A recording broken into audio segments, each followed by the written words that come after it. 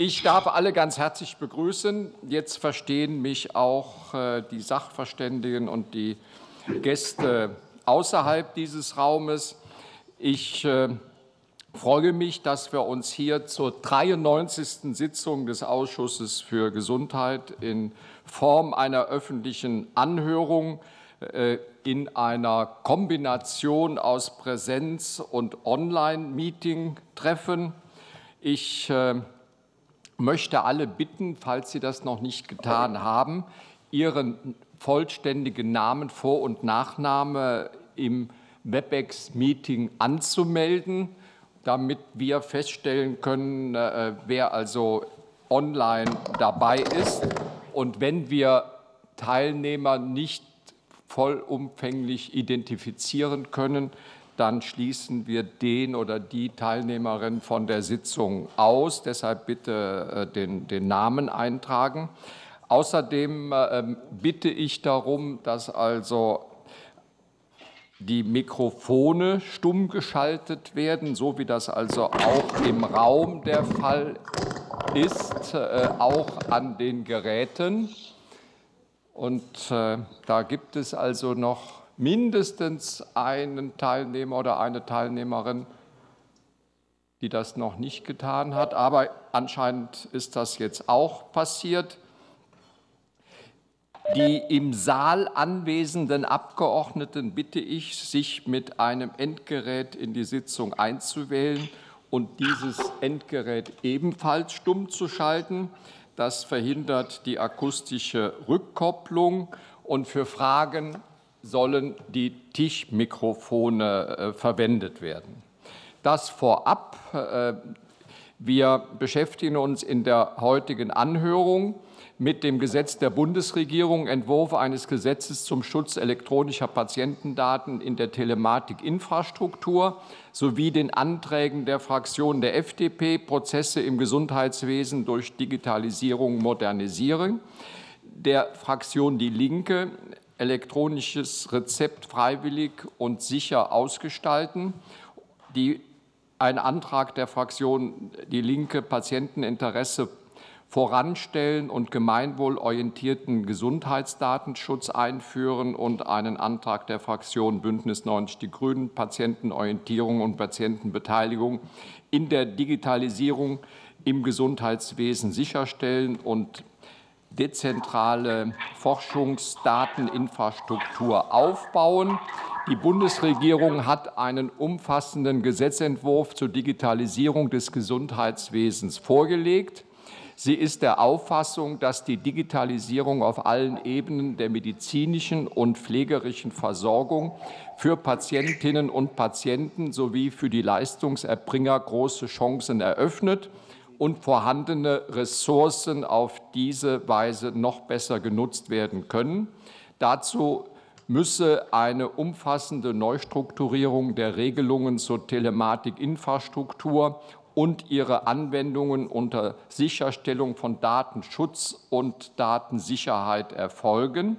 Die vier Anträge der Oppositionsfraktionen beschäftigen sich ebenfalls mit der Digitalisierung und der Optimierung der verschiedenen Prozesse im Gesundheitswesen. Der Tenor liegt dabei unter anderem auf der Einführung des elektronischen Rezepts, der Einführung des gemeinwohlorientierten orientierten Gesundheitsdatenschutzes oder dem Aufbau einer dezentralen Forschungsinfrastruktur. Im Zentrum aller Vorlagen steht die Forderung, dass sich die Digitalisierung in erster Linie an den Bedürfnissen der Patientinnen und Patienten zu orientieren habe und Datenschutz und Datensicherheit garantiert werden müssen. Bevor wir nun in die Anhörung einsteigen, einige kurze Infos. Wie immer, die Anhörung dauert 90 äh, Minuten und je nach Stärke der Fraktionen sind diese 90 Minuten aufgeteilt. Ich bitte die Fragenden und die Sachverständigen, sich möglichst kurz zu fassen, damit wir viele Fragen äh, bearbeiten können. Die Sachverständigen sollten bei der Beantwortung der Frage ihr Mikrofon am Rechner aktivieren und erst dann und sich mit Namen und Verband vorstellen. Des Weiteren bitte ich alle hier im Sitzungssaal Anwesenden, ihre Mobiltelefone auszuschalten. Klingeln kostet wie immer 5 Euro. Ich weise darauf hin, dass die Anhörung zeitversetzt im Parlamentsfernsehen gezeigt wird. Außerdem ist sie in der Mediathek des Deutschen Bundestages abrufbar. Das Wortprotokoll der Anhörung wird auf der Internetseite des Ausschusses veröffentlicht. Ich danke allen Sachverständigen, die eine schriftliche Stellung abgegeben haben, sehr herzlich. Und wir können jetzt in die Anhörung einsteigen. Und die erste Frage stellt die CDU, CSU-Fraktion Karin Mark. Vielen Dank, Herr Vorsitzender. Guten Tag, meine Damen und Herren Sachverständige. Meine erste Frage geht an den Einzelsachverständigen Herrn Professor Heckmann mit folgendem Inhalt. Im Kontext unseres Patientendatenschutzgesetzes wird ja nun intensiv über den Datenschutz diskutiert. Und die Frage geht dahin, ob die im Gesetzentwurf jeweils zugewiesenen Verantwortlichkeiten für den Datenschutz nach Ihrer Meinung lückenlos sind und ordentlich geregelt. Herr Professor Dr. Heckmann. Ja, hier ist Dirk Heckmann. Kurze Frage, werde ich verstanden? Ja. Okay, äh, ja, vielen Dank für die Frage. Ich kann mich relativ kurz fassen, weil ich eine schriftliche Stellungnahme abgegeben habe, wo ich auch auf diese Fragen eingegangen bin. Es geht um den Paragraphen 307 äh, im neuen Gesetz.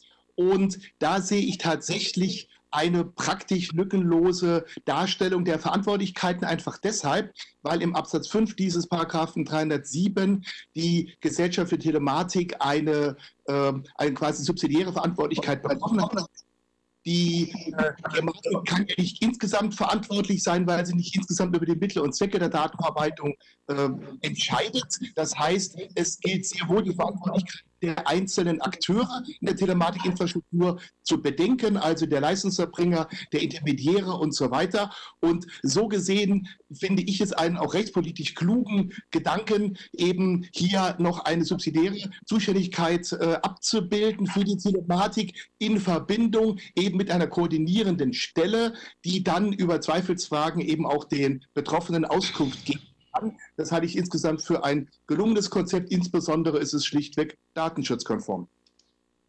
Vielen Dank. Die nächste Frage stellt Michael Henrich. Ich würde meine Frage auch an den Einzelsachverständigen Professor Heckmann äh, richten. Äh, die Zugriffserteilung durch die Versicherten soll in verschiedenen Umsetzungsstufen geregelt werden. Äh, erst ab der Stufe 2, ab 2022 ist ein feingranulares Berechtigungsmanagement vorgesehen. Wie beurteilen Sie die datenschutzrechtliche Wirksamkeit der Einwilligung in der ersten Umsetzungsstufe unter Berücksichtigung der Aufklärungspflicht durch die Krankenkassen? Herr Professor Dr. Heckmann. Auch hier möchte ich mich zunächst auf mein schriftliches Statement äh, verweisen, weil ich dort in der Tat auch äh, mich klar geäußert habe, dass ich diese Konzeption im Paragraphen 342 für gelungen, richtig und datenschutzkonform halte. Denn ich meine, Selbstbestimmung bedeutet ja nicht, dass ich einen Anspruch hätte auf ein ganz bestimmtes technologisches Konzept, Kommunikationssystem, sondern innerhalb des bestehenden Systems müssen meine Rechte gewahrt sein. Hier wird eine Einwilligung ausdrücklich erhoben. Alles ist freiwillig und ich habe insbesondere die Möglichkeit eben auch selber zu entscheiden, wie sehr vertraue ich meinem Arzt, ob er beispielsweise, wenn er in diesem grob granularen Berechnungskonzept doch andere Daten faktisch sehen könnte, Inwiefern vertraue ich ihm dahingehend, dass er davon keinen Gebrauch macht? Er dürfte es ja nicht einmal auf diese Daten schauen und äh, wenn ich dieses Vertrauen nicht haben sollte und dennoch zu diesem Arzt gehe, kann ich auf konventionelle Weise natürlich auch ein Röntgenbild mit mir führen oder äh, auf ein Fax vertrauen oder ähnliches mehr. Das heißt, wir haben hier eine Situation, in der der Einzelne selber bestimmt, die Datenhoheit, die Patientensouveränität ist bei ihm. Er entscheidet in dieser ersten Phase, äh, wie er mit der Situation umgehen will. Dass es technisch noch nicht möglich ist, das Ganze feiner zu granulieren. Würden wir das Ganze aufschieben um ein Jahr,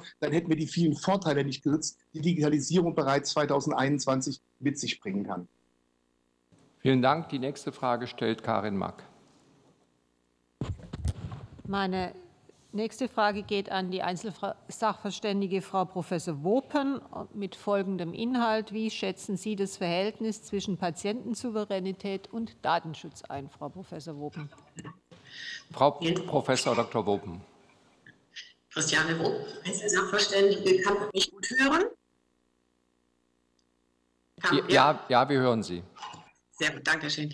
Ähm, ja, der Datenschutz ist ja nicht mit der Patientensouveränität abzuwägen, sondern die Patientensouveränität ist ja ein Mittel, um Daten zu schützen. Denn geschützt werden sollen ja die Personen, über die die Daten etwas aussagen.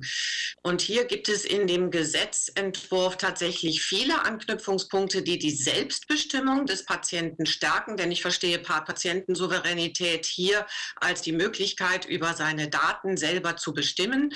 Ich möchte jetzt aus Zeitgründen Gründen nicht auf die vielen Aspekte eingehen, die diese Patientensouveränität tatsächlich stärken.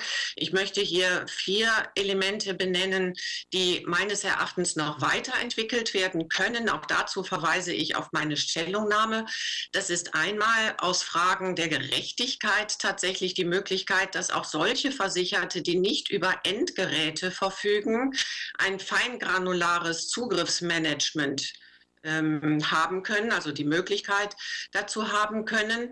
Das ist zum Weiteren die Möglichkeit, selber zu bestimmen, was mit der elektronischen Patientenakte geschieht, wenn man im äh, Zustand der Einwilligungsunfähigkeit ist. Ich denke also hier an Menschen mit äh, einer fortgeschrittenen Demenz, mit bestimmten schweren geistigen Behinderungen vielleicht wo es also in der EPA und auch in den Informationen der Krankenkassen schon Möglichkeiten und Informationen geben muss, über Vertretungsregelungen zu bestimmen. Die scheinen mir in dem Gesetzentwurf nicht ausreichend adressiert zu sein.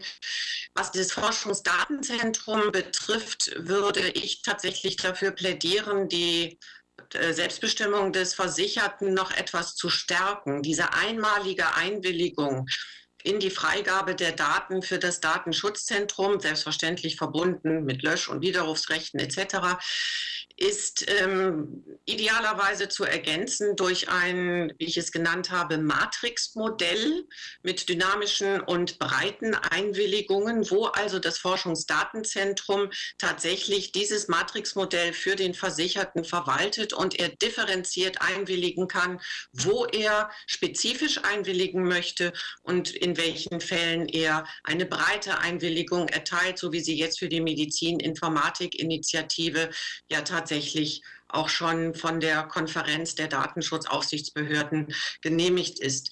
Ähm, einen weiteren Aspekt sehe ich in Paragraph 345, wo es um die zusätzlichen Inhalte und Anwendungen geht, die die Krankenkassen anbieten können. Hier hat die Datenethikkommission zum Beispiel ähm, differenzierte Vorgaben empfohlen für die individualisierte Risikoprofilbildung, an der ja Krankenkassen beispielsweise im Hinblick auf präventive Angebote gerechtfertigterweise interessiert sein könnten.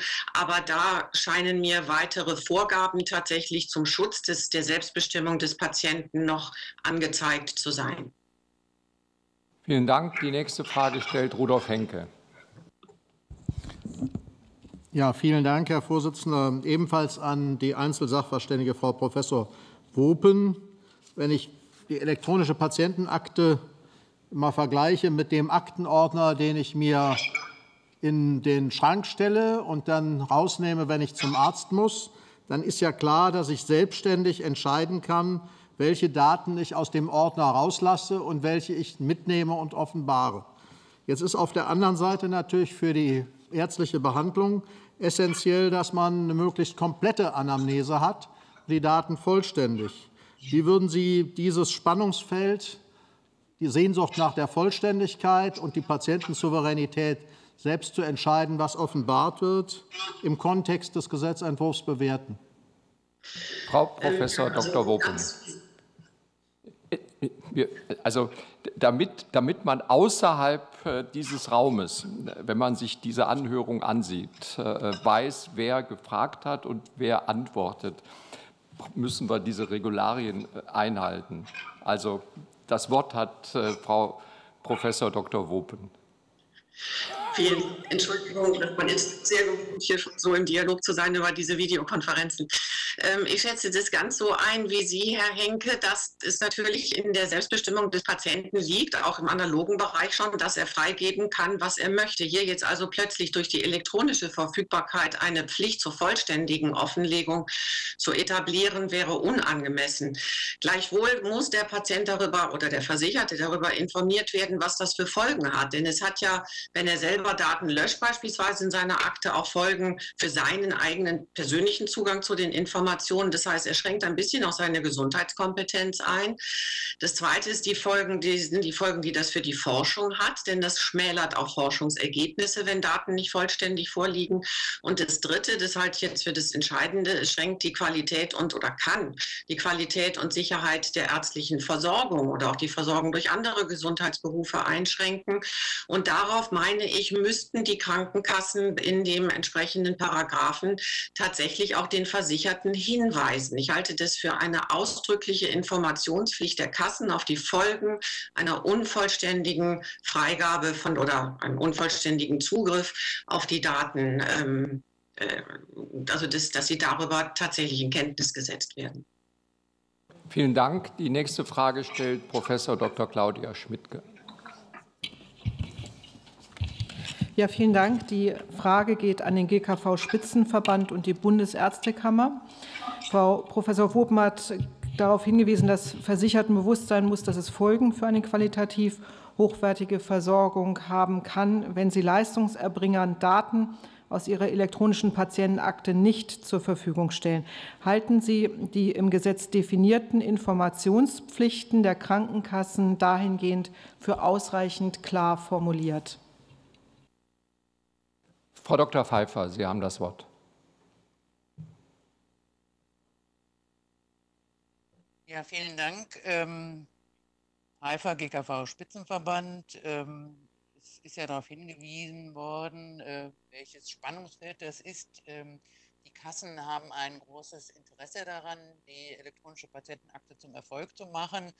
Äh, die soll auch äh, zur Verbesserung der Versorgung eingesetzt werden, also was Versorgungsmanagement angeht, was den Verlust von Daten angeht während des Behandlungspfades der Versicherten, möglicherweise auch die Verbesserung der Compliance. Äh, und von daher ist es natürlich unter Einhaltung des Datenschutzes auch Aufgabe der Kassen im Rahmen ihrer Beratungspflichten über die Risiken und die Folgen der Nichtnutzung der EPA oder der Löschung, was eben von Frau Wuppen angesprochen worden ist, äh, zu informieren und für deren Nutzung zu werben. Äh, insofern würden wir uns für eine klarere Befugnis der Krankenkassen für diese Art der Aufklärung im Gesetz aussprechen.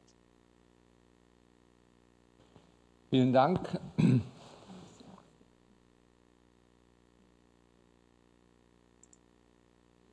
Zahnarzt.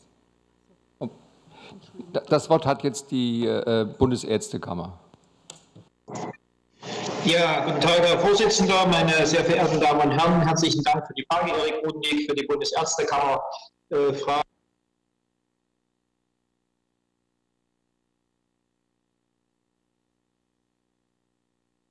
Herr Bodendieck, wir können Sie nicht verstehen. Oh. Jetzt, jetzt es wieder. Jetzt nicht. Im Moment. Geht es? Jetzt geht's. Ja, also, Frau Dr. Pfeiffer hat ja schon darauf hingewiesen, dass sie sich im Gesetz eine klarere Regelung wünscht. Äh, von Seiten der Bundesärztekammer ist natürlich festzustellen, wie Frau Professor Wogen auch schon sagte, dass ein wesentlicher Unterschied zwischen der analogen Regelung und der elektronischen Patientenakte natürlich grundsätzlich nicht besteht. Die Frage ist aber, ist die Informationspflicht rein bei den Krankenkassen zu verorten oder ist es am Ende Aufgabe der Ärztinnen und Ärzte, auch nochmal darüber aufzuklären, die Patientinnen und Patienten darüber aufzuklären, was notwendig ist, weil äh, wir es so sehen könnten und einschätzen würden, dass wenn es externe tun, hier die Krankenkassen bitte mir äh, nachsehen, dass ich die Krankenkassen als externe bezeichne, die im Patientenbehandlungsprozess nicht in der Art und Weise zu involvieren sind und involviert sind, dann könnte es aus unserer Sicht durchaus auch zu einer Schädigung des äh, Arzt-Patienten-Verhältnisses führen, weil gegebenenfalls Misstrauen gesehen würde. Also ich glaube schon, dass die Krankenkassen wichtigerweise, da sie ja verantwortlich sind über die Informationspflicht, darüber aufklären müssen, welche Konsequenzen es haben kann, wenn Patientinnen und Patienten ihrem Löschrecht äh, nachgehen, äh, dass man das sehr genau überlegen muss, was man löscht und äh, dass aber auch die Ärztinnen und Ärzte Gespräche mit den Patientinnen und Patienten führen sollten darüber, welche Auswirkungen eventuell ein gelöschter Befund am Ende haben sollte. Zum Thema Forschung und äh, Validität der Daten hatte sich Frau Professor Woken schon geäußert. Ich muss darauf nicht nochmal hinweisen. Übrigen weise ich auf unsere ausführliche Stellungnahme zum Gesamtgesetzestext hin. Herzlichen Dank. Vielen Dank. Die nächste Frage stellt Tino Sorge. Vielen Dank, Herr Vorsitzender. Meine Frage richtet sich an den Einzelsachverständigen Herrn Professor von Kalle. Äh, Sinn und Zweck des Gesetzes ist es ja auch eine bessere Vernetzung und Nutzung von äh, Daten äh, zu ermöglichen. Und deshalb würde mich interessieren, wie Gesundheitsdaten bei der Behandlung schwer erkrankter Patienten helfen können und wie Sie äh, vor dem Hintergrund die geplanten Regelungen im PDSG beurteilen. Herr Professor Dr. von Kalle, Sie haben das Wort. Christoph Kalle, Charité BIH und Sachverständigenrat Gesundheit. Ähm, diese Frage halte ich für außerordentlich wichtig. Ähm, wir haben bei der jetzigen Pandemie ja gelernt, äh, wie das Fehlen von Gesundheitsdaten negative Auswirkungen auf die Gesundheit von Patienten haben kann. Es sind letzten Endes in vielen Ländern und nicht zuletzt auch in Deutschland über die fehlende Möglichkeit, Gesundheitsdaten rasch und vollständig zu verarbeiten, Patienten zu Schade gekommen und wahrscheinlich sogar auch gestorben, mehr als das äh, notwendig wäre. Ähm, die Verfügbarkeit ähm, von äh, Patientendaten ähm, ist ähm, absolut wichtig im heutigen Versorgungskontext bei den äh, komplexen Therapien, die wir im Bereich ähm, schwerer Erkrankungen haben. Ähm, und ähm, in diesem Zusammenhang bedeutet Patientendatenschutz in erster Linie für mich, dass Patienten ein Anrecht darauf haben, dass ihre Gesundheitsdaten so ausgewertet werden, wie es ihnen dient. Ähm, die Diskussion, ob die Daten in unbefugte Hände äh, kommen, ist eine Diskussion der Datensicherheit, ähm, die ähm, nur ein Aspekt des Datenschutzes ist. Und wir haben, und das äh, sieht man auch in der äh, Gesetzesbeschreibung, natürlich in vielen Kontexten Probleme, dass die Nichtverfügbarkeit von Daten für die Patienten zu Schäden und gesundheitlichen Beeinträchtigungen führt. Insofern ähm, begrüßen wir natürlich äh, die Regelungen im Patientendatenschutzgesetz, die ja elektronische Datenverarbeitung möglich machen soll, die Patientensouveränität schaffen soll ähm, und die auch Daten für Versorgungsprozesse und die Forschung erschließbar machen soll, ähm, außerordentlich. Vielen Dank. Die nächste Frage stellt Tino Sorge. Ich würde das äh, noch mal ein bisschen vertiefen. Und zwar, das Forschungsdatenzentrum ist ja bereits angesprochen worden. Da würde mich interessieren, das Forschungsdatenzentrum und die Datenfreigabe. Also die freiwillige Datenfreigabe durch Versicherte sollen ja der Gesundheitsforschung künftig neuen Vorschub leisten. Und insofern äh, wäre ich interessiert daran, äh, wie beurteilen Sie im Hinblick auf diesen Anspruch äh, die geplante Ausgestaltung des Forschungsdatenzentrums? Insbesondere, wie schätzen Sie den Mehrwert dieses Forschungsdatenzentrums durch den begrenzten Nutzungs- und antragsberechtigten Kreis ein? Vielen Dank. Herr Professor von Kalle, Sie haben das Wort. Geht auch an den BVITG. Ja. Also die Frage richtet sich an den Einzelsachverständigen Professor von Kalle und den Bundesverband der Gut. Also BVITG, Herrn Sebastian Ziel. Herr Professor Dr. von Kalle, Sie haben das Wort. Ähm, ja, äh, vielen Dank. Ähm, ja, ähm, es ist sicherlich ähm, sehr sinnvoll, ähm, dass ähm, pseudonymisierte und anonymisierte Patientendaten äh, in einem Forschungsdatenzentrum äh, für Zwecke der Forschung erschlossen werden können. Ähm, und ähm, es ist darüber hinaus ganz außerordentlich sinnvoll, dass der Patient auch die Möglichkeit hat, zu Forschungszwecken seine Daten auf anderen Wegen freizugeben. Wenn man sich zum Beispiel einmal die Situation überlegt, dass der Patient sich entschließt, ähm, an einer klinischen Studie teilzunehmen, die von einem Arzt durchgeführt wird, der jetzt nicht in seinem primären Behandlungskontext steht, ähm, dann ist es ganz außerordentlich wichtig, dass der Patient die Möglichkeit hat, ähm, die Inhalte seiner ähm, Akte ähm, für diese Prozesse zur Verfügung zu stellen. Und das wird im Gesetz auch so geregelt. angesprochen auf das Antragsverfahren für das Forschungsdatenzentrum ist uns aufgefallen, dass es keine Möglichkeit gibt für kommerzielle Unternehmen,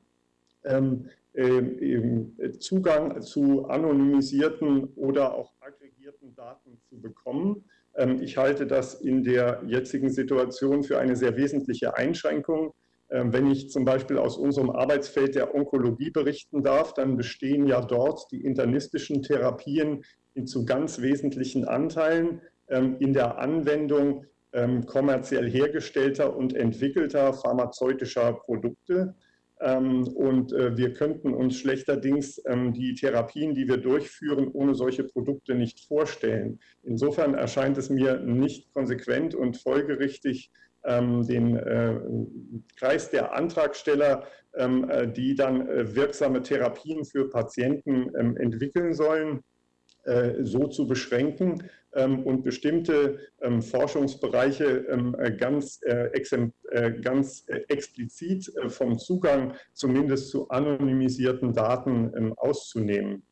Das halte ich für eine sehr wesentliche Diskussion, die noch zu führen ist. Vielen Dank, Herr Zilch. Ja, vielen Dank, Herr Vorsitzender. Vielen Dank, Herr Sorge, für die Frage. wir stimmen den Ausführungen von Herrn Professor Klein im Grundsatz eben auch zu. Wir ähm, sehen es sehr positiv, dass das Thema Datenfreigabe aus elektronischen Patientenakte im Gesetz aufgenommen wurde und somit endlich die Daten, die in unserem System verfügbar sind, auch sinnvoll eingesetzt werden können. Dennoch sehen auch wir, dass äh, das Potenzial der Regelung ungenutzt bleibt, insbesondere eben unter der Betrachtungsweise, dass Unternehmen von denen also nicht antragsberechtigt sind und davon ausgeschlossen sind.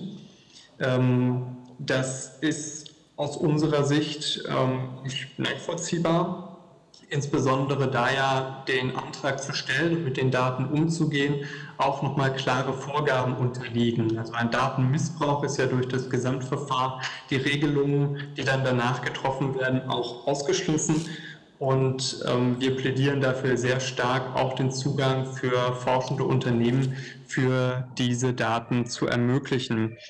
Ähm, das ist vor allem nicht nur wichtig, um auch die Versorgung zu verbessern durch die gewonnenen Forschungserkenntnisse, sondern natürlich auch Deutschland als Forschungsstandort und auch als Wirtschaftsstandort zu stärken. Und auch das sind zwei Perspektiven, die, wie wir in der aktuellen Situation erlebt haben, dringend notwendig sind und plädieren daher dafür, auch Unternehmen antragsberechtigt ähm, zu, äh, eine Antragsberechtigung zu ermöglichen. Ich möchte in dem Kontext auch auf ähm, die entsprechende Äußerung der eHealth-Verbände-Allianz hinweisen, ähm, die das auch nochmal sehr ausführlich erläutert. Vielen Dank.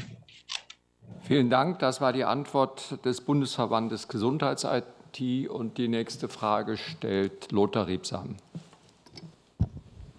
Meine Frage richtet sich an die Abda durch die Aufgabenzuweisung an die Telematik eine entsprechende barrierefreie App zu entwickeln und zur Verfügung zu stellen, soll die Übermittlung ärztlicher Verschreibungen über mobile Endgeräte zügig vorangetrieben werden. Wie bewerten Sie die vorgesehene Regelung, insbesondere mit Blick auf das Zuweisungs- und Makelverbot sowie den Patientenschutz? Herr Dr. Schmitz. Herr Schmitz für die Abteilung. Jetzt habe ich einen Start versuche es mal, ich habe einen starken Halten. Ähm, ja, also wir haben ja derzeit eine Rechtsfrage, die die freie Wahl des, des, der Apotheke durch den Versicherten schützt und ähm, Zuweisung von Verschreibung Apotheken besagt. Tut mir leid, ich habe einen starken Rückhalt, aber ich kann es hier nicht ändern. Ähm, mit dem elektronischen Rezept sicher diese, diese Grundsätze der freien Apothekenwahl und des Markenverbotes oder Zuweisungsverbotes äh, leichter angreifbar und es äh, ist zu besorgen, dass hier Einfluss genommen wird auf die freie Wahl der Apotheke durch äh, den Versicherten. Wir sehen auch jetzt schon im Markt, dass es Ankündigungen gibt und dringenden Wunsch gibt, Geschäftsmodelle rund um die Einlösung des elektronischen Rezeptes aufbauen zu dürfen. Die Lage finden wir vor. Das BDSG mit dem jetzigen Entwurf hat ähm, darauf reagiert, hat das äh, Marken- und Zuweisungsverbot gestärkt, hat auch Dritte äh, in das Markenverbot einbezogen, was wir sehr begrüßen, als eine dringende und unverzichtbare Regelung. Ähm, es bleibt aber eine Lücke bestehen oder ein, äh, ein Durchsetzungsproblem. Wir haben jetzt die rechtlichen Regelungen, die das Marken- und Zuweise verbieten. Äh, aber wir haben ein Durchsetzungsproblem, weil wir in vielen Fällen erlebt haben, dass die Durchsetzung solcher Verbote und Vorgaben, die rechtlich bestehen, in der Praxis sehr schwierig ist. Und deswegen plädieren wir dafür, ähm, neben diese rechtlichen Verbote auch eine klare technische Regel zu setzen, die es der Gematik vorgibt, äh, die vorgesehene Anwendung, die die Gematik bereitstellt, damit der Versicherte auf äh, die Verordnung zugreifen kann und sie einlösen kann dass äh, diese Anwendung keinen Zugriff und keine Weitergabemöglichkeit an Dritte vorsieht, äh, sodass hier ein beeinflussungsfreier Zugriff ähm, und eine beeinflussungsfreie Einlösung der Medikamente, der Rezepte in der Apotheke möglich ist. Ähm, wir bitten also dringend darum, diese Möglichkeit hier vorzusehen. Äh, wir sehen in, den, in der Diskussion um das PDSG Stellungnahmen Dritter, die sagen, hier würde der Wettbewerb zu sehr beschränkt. Das sehen wir nicht so. Uns geht es darum, den Weg des Rezeptes bis in die Apotheke beeinflussungsfrei zu machen. Ab dem Zeitpunkt nach der Abgabe kann dann selbstverständlich der Wettbewerb um gute Apps, um Unterstützung der Therapiebegleitung in der Arzneimittelversorgung stattfinden, sodass hier auch die zusätzlichen Funktionen, die Apps anbieten können, dann nach der Abgabe in der Apotheke ähm, entwickelt und angeboten werden können. Vielen Dank. Die nächste Frage stellt Professor Dr. Schmidtke. Ja, herzlichen Dank. Meine Frage geht an den VUD, an den Verband der Universitätskliniker. Wie bewerten Sie die vorgesehene Möglichkeit für Versicherte, Daten aus ihrer elektronischen Patientenakte direkt für Forschungsprojekte zur Verfügung zu stellen? Herr Bußmann, Sie haben das Wort. Ja, vielen Dank, Professor Schmidtke. Wir begrüßen natürlich die Regelung nach 363 Absatz 8, wonach Versicherte unabhängig von ihrer Entscheidung über eine Datenfreigabe für das Forschungsdatenzentrum ihre EPA-Daten auch auf Grundlage einer informierten Einwilligung für die Forschung freigeben können. Damit wir oder können wir wertvolle Daten zeitnah verfügbar machen ähm, und der medizinischen Forschung werden natürlich so vielfältige Chancen eröffnet. Auch natürlich dank einer, ähm, der Möglichkeit einer informierten Einwilligung des Versicherten, auch über den Broad Consent, den ja die Medizininformatik-Initiative auf den Weg gebracht hat. Vielen Dank. Vielen Dank. Das war der Verband der Universitätskliniker. Und die nächste Frage stellt Dietrich Mondstadt. Danke sehr, Herr Vorsitzender. Meine Frage richtet sich an den GKV-Spitzenverband und die Kassenärztliche Bundesvereinigung. Durch eine Neuregelung soll es Versicherten ermöglicht werden, den Krankenkassen Daten aus der elektronischen Patientenakte zum Zwecke der Nutzung zusätzlicher von Krankenkassen angebotenen Anwendungen zur Verfügung zu stellen. Wie bewerten Sie diese im Gesetzentwurf enthaltene Regelung? Danke sehr. Vielen Dank. Frau Dr. Pfeiffer, Sie haben das Wort. Ja, vielen Dank, äh, GKV-Spitzenverband Pfeiffer.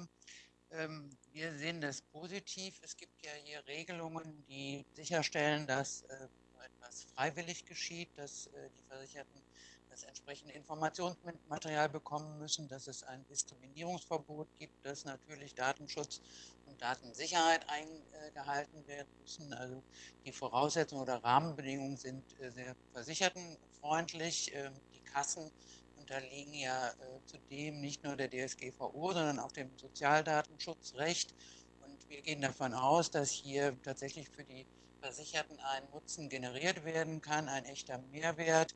Insbesondere für chronisch Kranke könnte das relevant werden, hier die Möglichkeit zu haben, zusätzliche Inhalte und Anwendungen anzubieten. Und äh, deswegen befürworten wir diese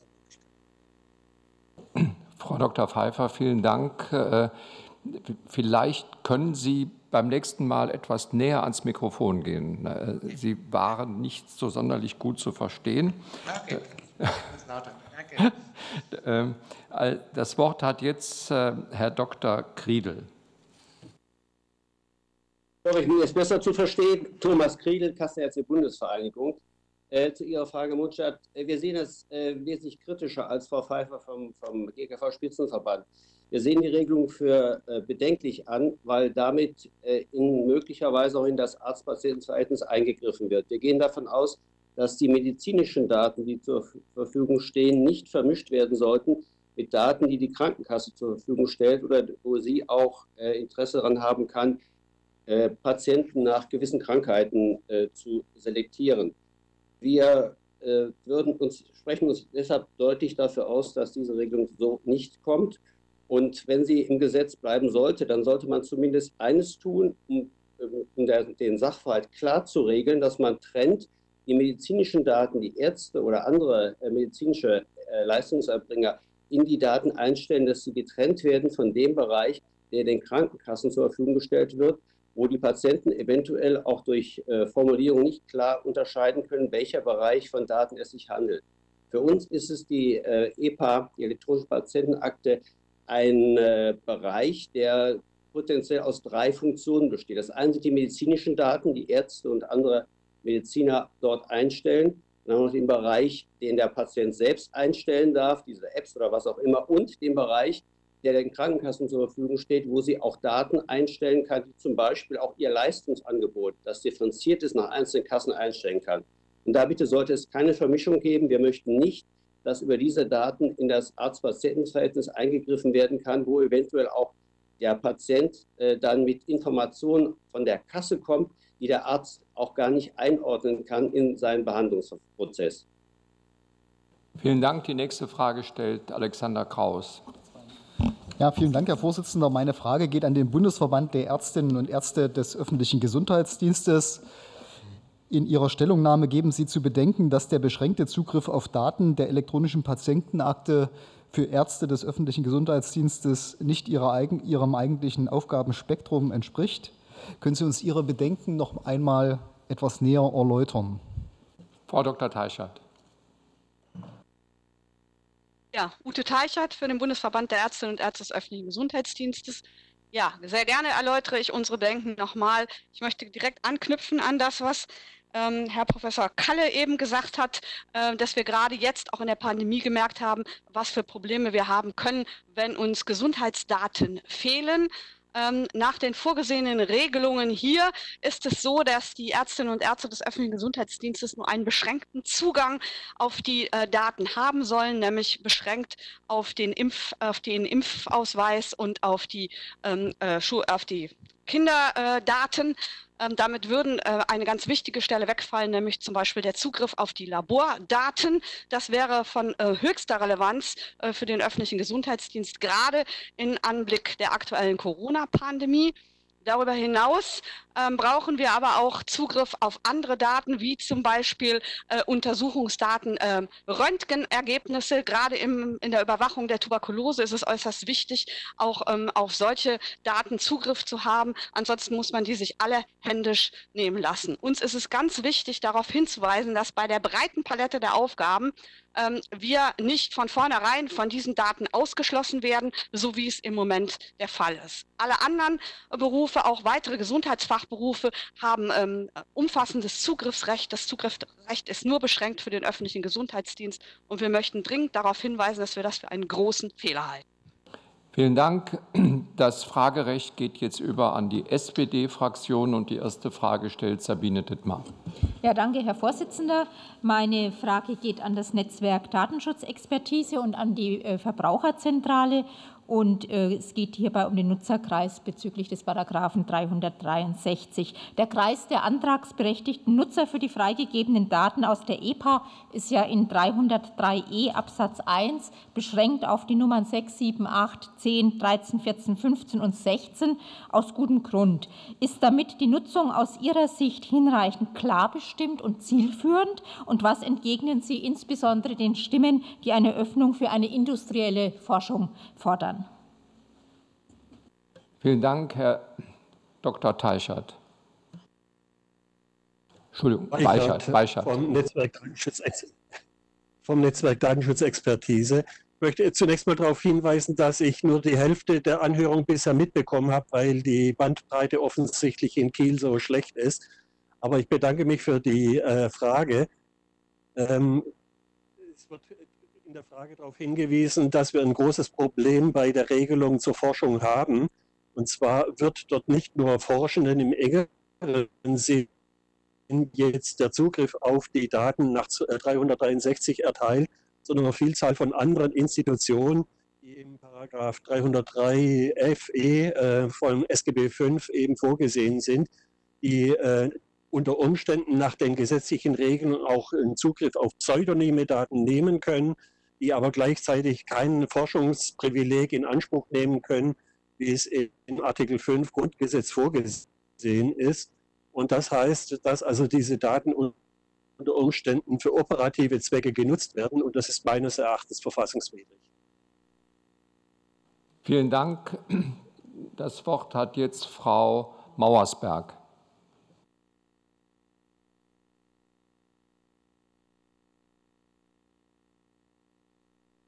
So, kann ich gehört werden? Ja. Okay, wir sehen das ähnlich, dass das noch alles äh, sehr unklar ist, wie äh, die Bedingungen dann in Bezug auf Transparenz für die Nutzer in Zukunft sind. Es sind ja noch sehr, sehr viele Rechtsverordnungen nicht umgesetzt. Jetzt ist ja zum Glück die zur Datentransparenz da. Und äh, wir sehen eben auch, dass diese Zugangsmöglichkeiten ganz sicher in der Zukunft weiter diskutiert werden müssen. Aber es ist ganz, ganz wichtig natürlich, dass zunächst mal für die Patientinnen und die Versicherten klar ist, was mit ihren Daten geschieht, welche Zugriffsmöglichkeiten sie auf Informationsangebote haben. Und wir finden das auch sehr unglücklich, wenn diese Infrastruktur eigentlich noch gar nicht da ist und man also auch als Nutzer sich überhaupt noch nicht klar darüber werden kann, was habe ich denn für Möglichkeiten zu sehen, was mit meinen Daten gemacht wird wenn man dann schon diese Zugriffsrechte äh, definiert. Also wir hätten da auch gerne eine klare Abfolge und würden uns wünschen, dass es ein eigenständiges Gesetzgebungsverfahren zum Thema Forschungsdaten gibt, weil es eben eine ungeheuer große Bedeutung hat, eben für die Patienten natürlich in erster Linie, aber auch für sehr, sehr viele forschende Stellen. Und äh, welche zukünftigen Kooperationen wir dann sehen werden, das ist ja eben auch alles in einer sehr dynamischen Entwicklung. Da werden ja möglicherweise die Krankenkassen auch sehr, sehr viel stärker mit irgendwelchen Industrieunternehmen zusammenarbeiten. Da ist also diese Transparenzdimension ganz ungeheuer wichtig. Vielen Dank. Die nächste Frage stellt äh, Herr Heidenblut. Ja, vielen Dank. Meine Frage geht an die Einzelsachverständige Frau Professor Thun und an den Vertreter des Chaos Computer Club. Paragraph 336 des Gesetzentwurfs regelt unter anderem den Zugriff auf die elektronische Patientenakte ohne elektronische Gesundheitskarte. Ich zitiere, durch ein geeignetes technisches Verfahren, das einen hohen Sicherheitsstandard gewährleistet. Halten Sie diese Vorgaben mit Blick auf den Zugriff auf die EPA via Smartphone etwa für ausreichend? Wie könnte bzw. müsste eine solche Authentifizierung auf hohem Niveau mindestens aussehen? Und sollte dieses Verfahren gesetzlich fixiert werden? Vielen Dank. Frau Professor Dr. Thun, Sie haben das Wort. Silvia Thun vom ähm, Spitzenverband für ähm, IT-Standards im Gesundheitswesen und von der ABMF ähm, GMDS. Das sind die Medizininformatiker. Ähm, hier gibt es natürlich schon etablierte Verfahren in der Industrie, die auch angewandt werden, wie zum Beispiel OpenID, OAuth oder JSON Web Token. Die können durchaus angewendet werden. Ähm, ob es hier speziellere Verfahren, ähm, ob die speziellere Verfahren notwendig sind, sollte im Vorfeld aber durchaus geprüft werden. Und sollten diese Verfahren angewendet werden, die auch äh, in anderen Ländern äh, zur Verfügung stehen und von der Industrie unterstützt werden, sollten die ähm, Bürger auf jeden Fall darüber informiert werden, wie hoch der Sicherheitsstandard hier tatsächlich ist. Vielen Dank. Dann hat das Wort jetzt äh, Herr Tschirsich.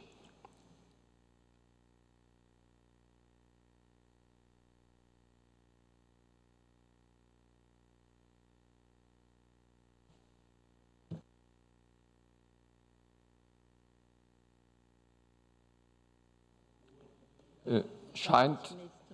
Dann, dann, nehmen wir die nächste Frage und äh, wenn Herr Zirsich äh, sozusagen online ist, werden wir ihm die Möglichkeit geben zu antworten.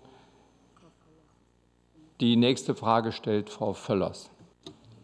Herr Vorsitzender, herzlichen Dank. Ähm, ja, uns, die SPD, interessiert noch einmal die Einschätzung ähm, der Bundespsychotherapeutenkammer und äh, daher geht meine Frage an Herrn Dr. Munz. Und zwar, ähm, die Bundespsychotherapeutenkammer weist in ihrer Stellungnahme auf die defizitären Zugriffsrechte von Psychotherapeutinnen und Psychotherapeuten in der IPA äh, bei der Versorgung eben psychisch kranker Menschen hin. Wir bitten Sie, dass Sie dies uns noch mal ein bisschen genauer erläutern. Herr Dr. Munz, Sie haben das Wort.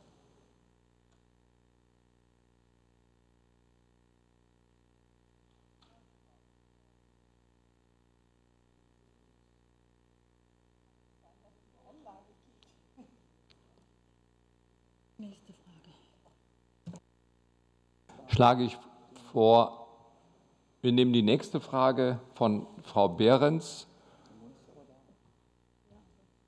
Aber sollten wir nicht erst prüfen, ob die Technik funktioniert?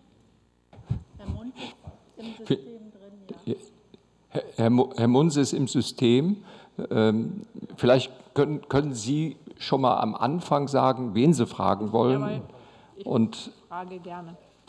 Also meine Frage richtet sich an Frau Dr. Fix von der Caritas. Frau Dr. Fix, der Caritas-Bundesverband weist in seiner Stellungnahme zu Paragraph 312 des Gesetzentwurfs darauf hin, dass die Aufzählung der Leistungen von Pflegeeinrichtungen nicht vollständig wären, die der Nutzung der TI bedürfen. Außerdem weisen Sie auf die Notwendigkeit der Erarbeitung einer Anwendung zur Erbringung häuslicher Krankenpflege hin.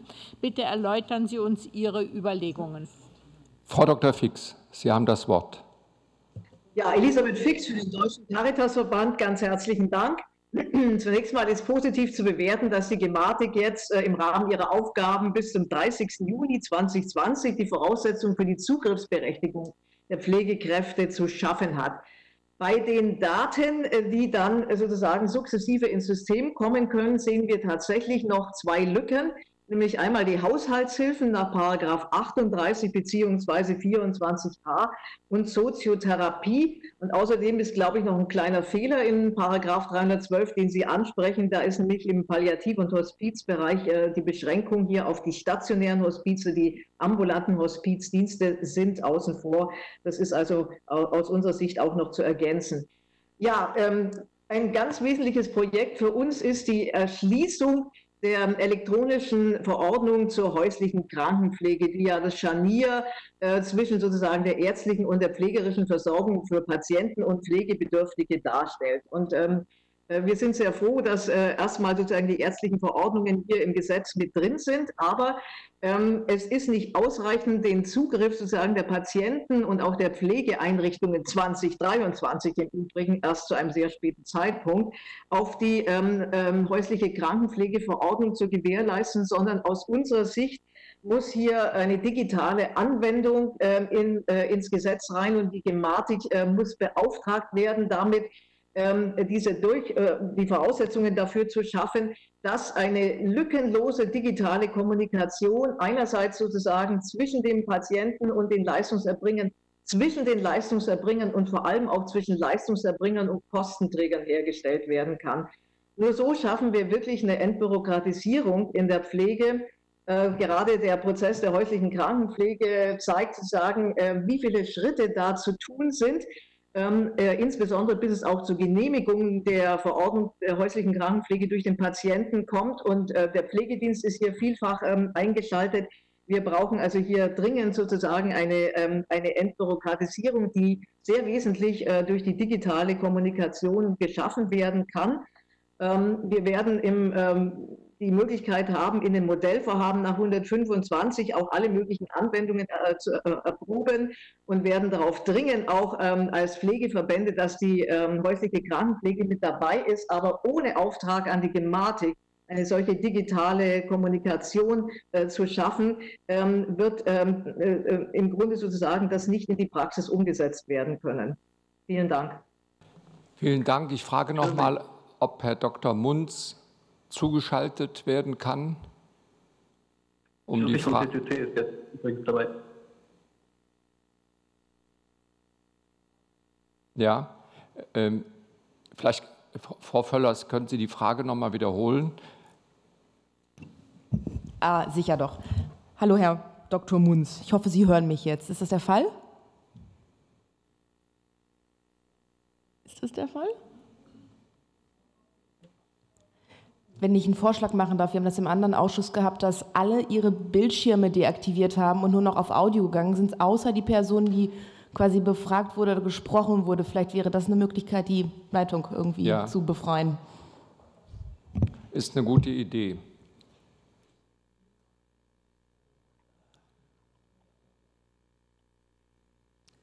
Herr Dr. Munz, hören Sie uns? Ja, ich habe mich jetzt neu eingeloggt. Scheint es zu funktionieren.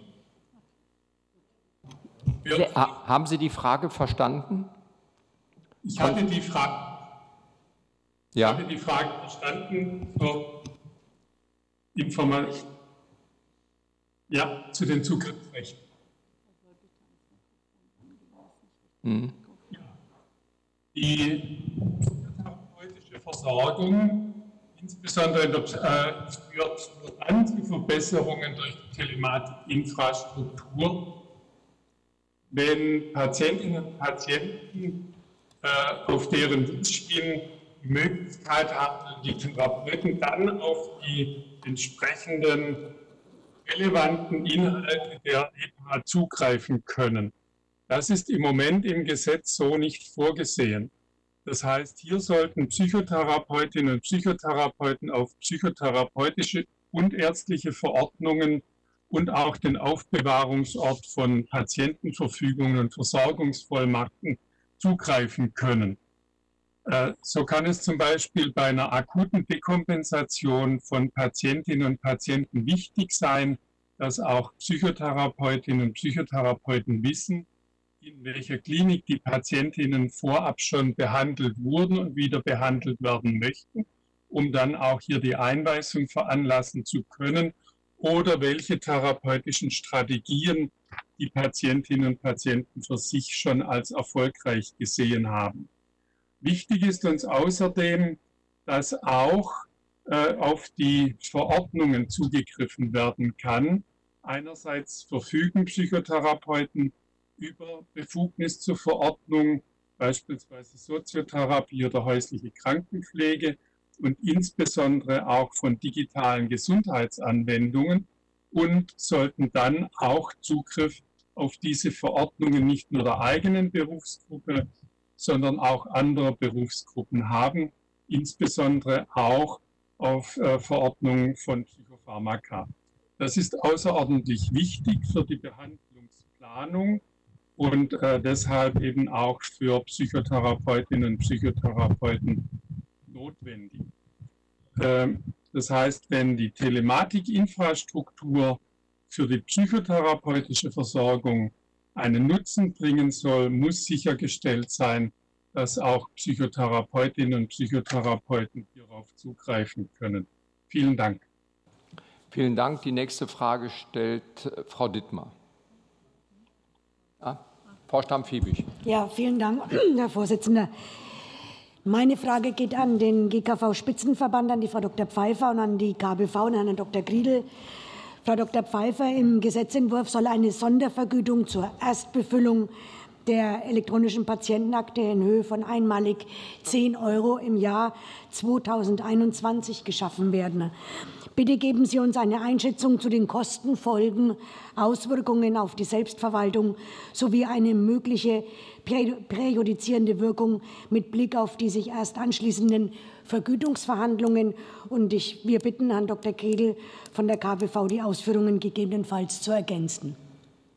Frau Dr. Pfeiffer.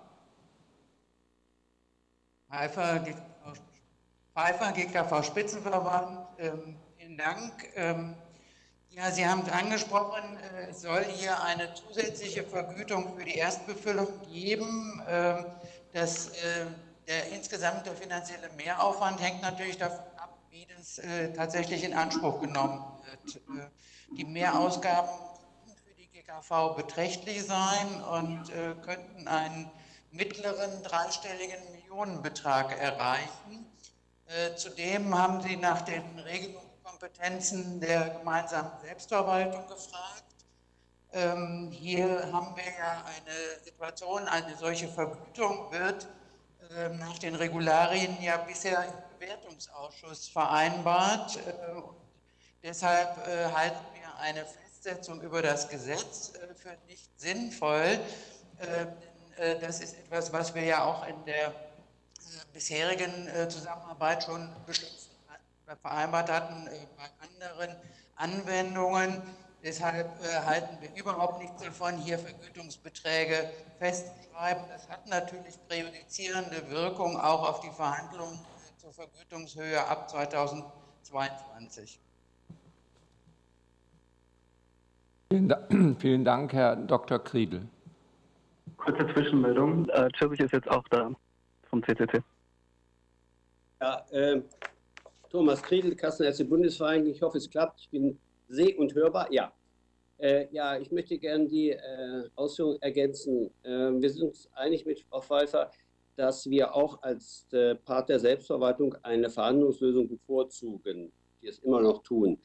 Fra die Frage ist, ist natürlich, äh, inwieweit diese Höhe von 10 Euro für die Erstbefüllung ausreichend ist. Das ab.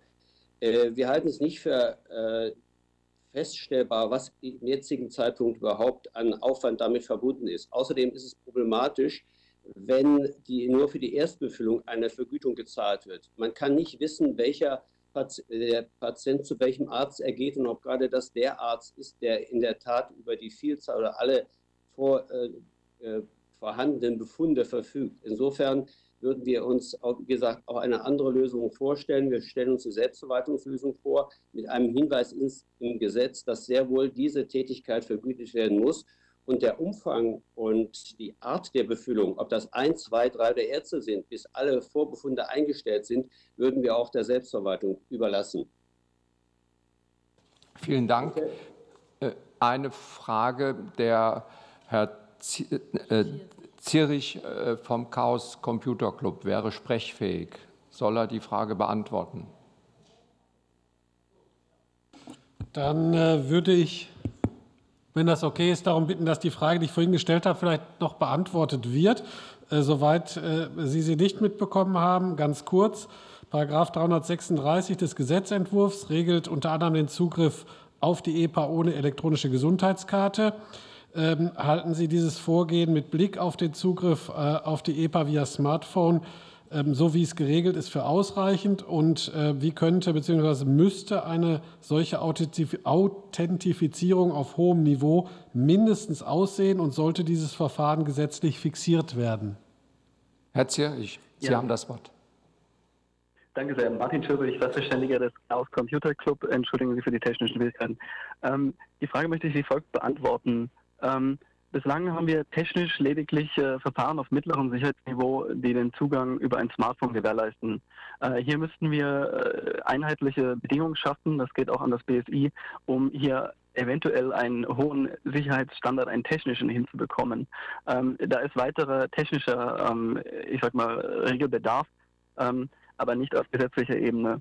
Das Problem ist aber rein technisch gesamt nicht in den Griff zu bekommen. Es braucht organisatorische Sicherheitsmaßnahmen, überhaupt die Ausgabe dieser, dieser äh, Authentisierungsmittel ähm, äh, korrekt umzusetzen.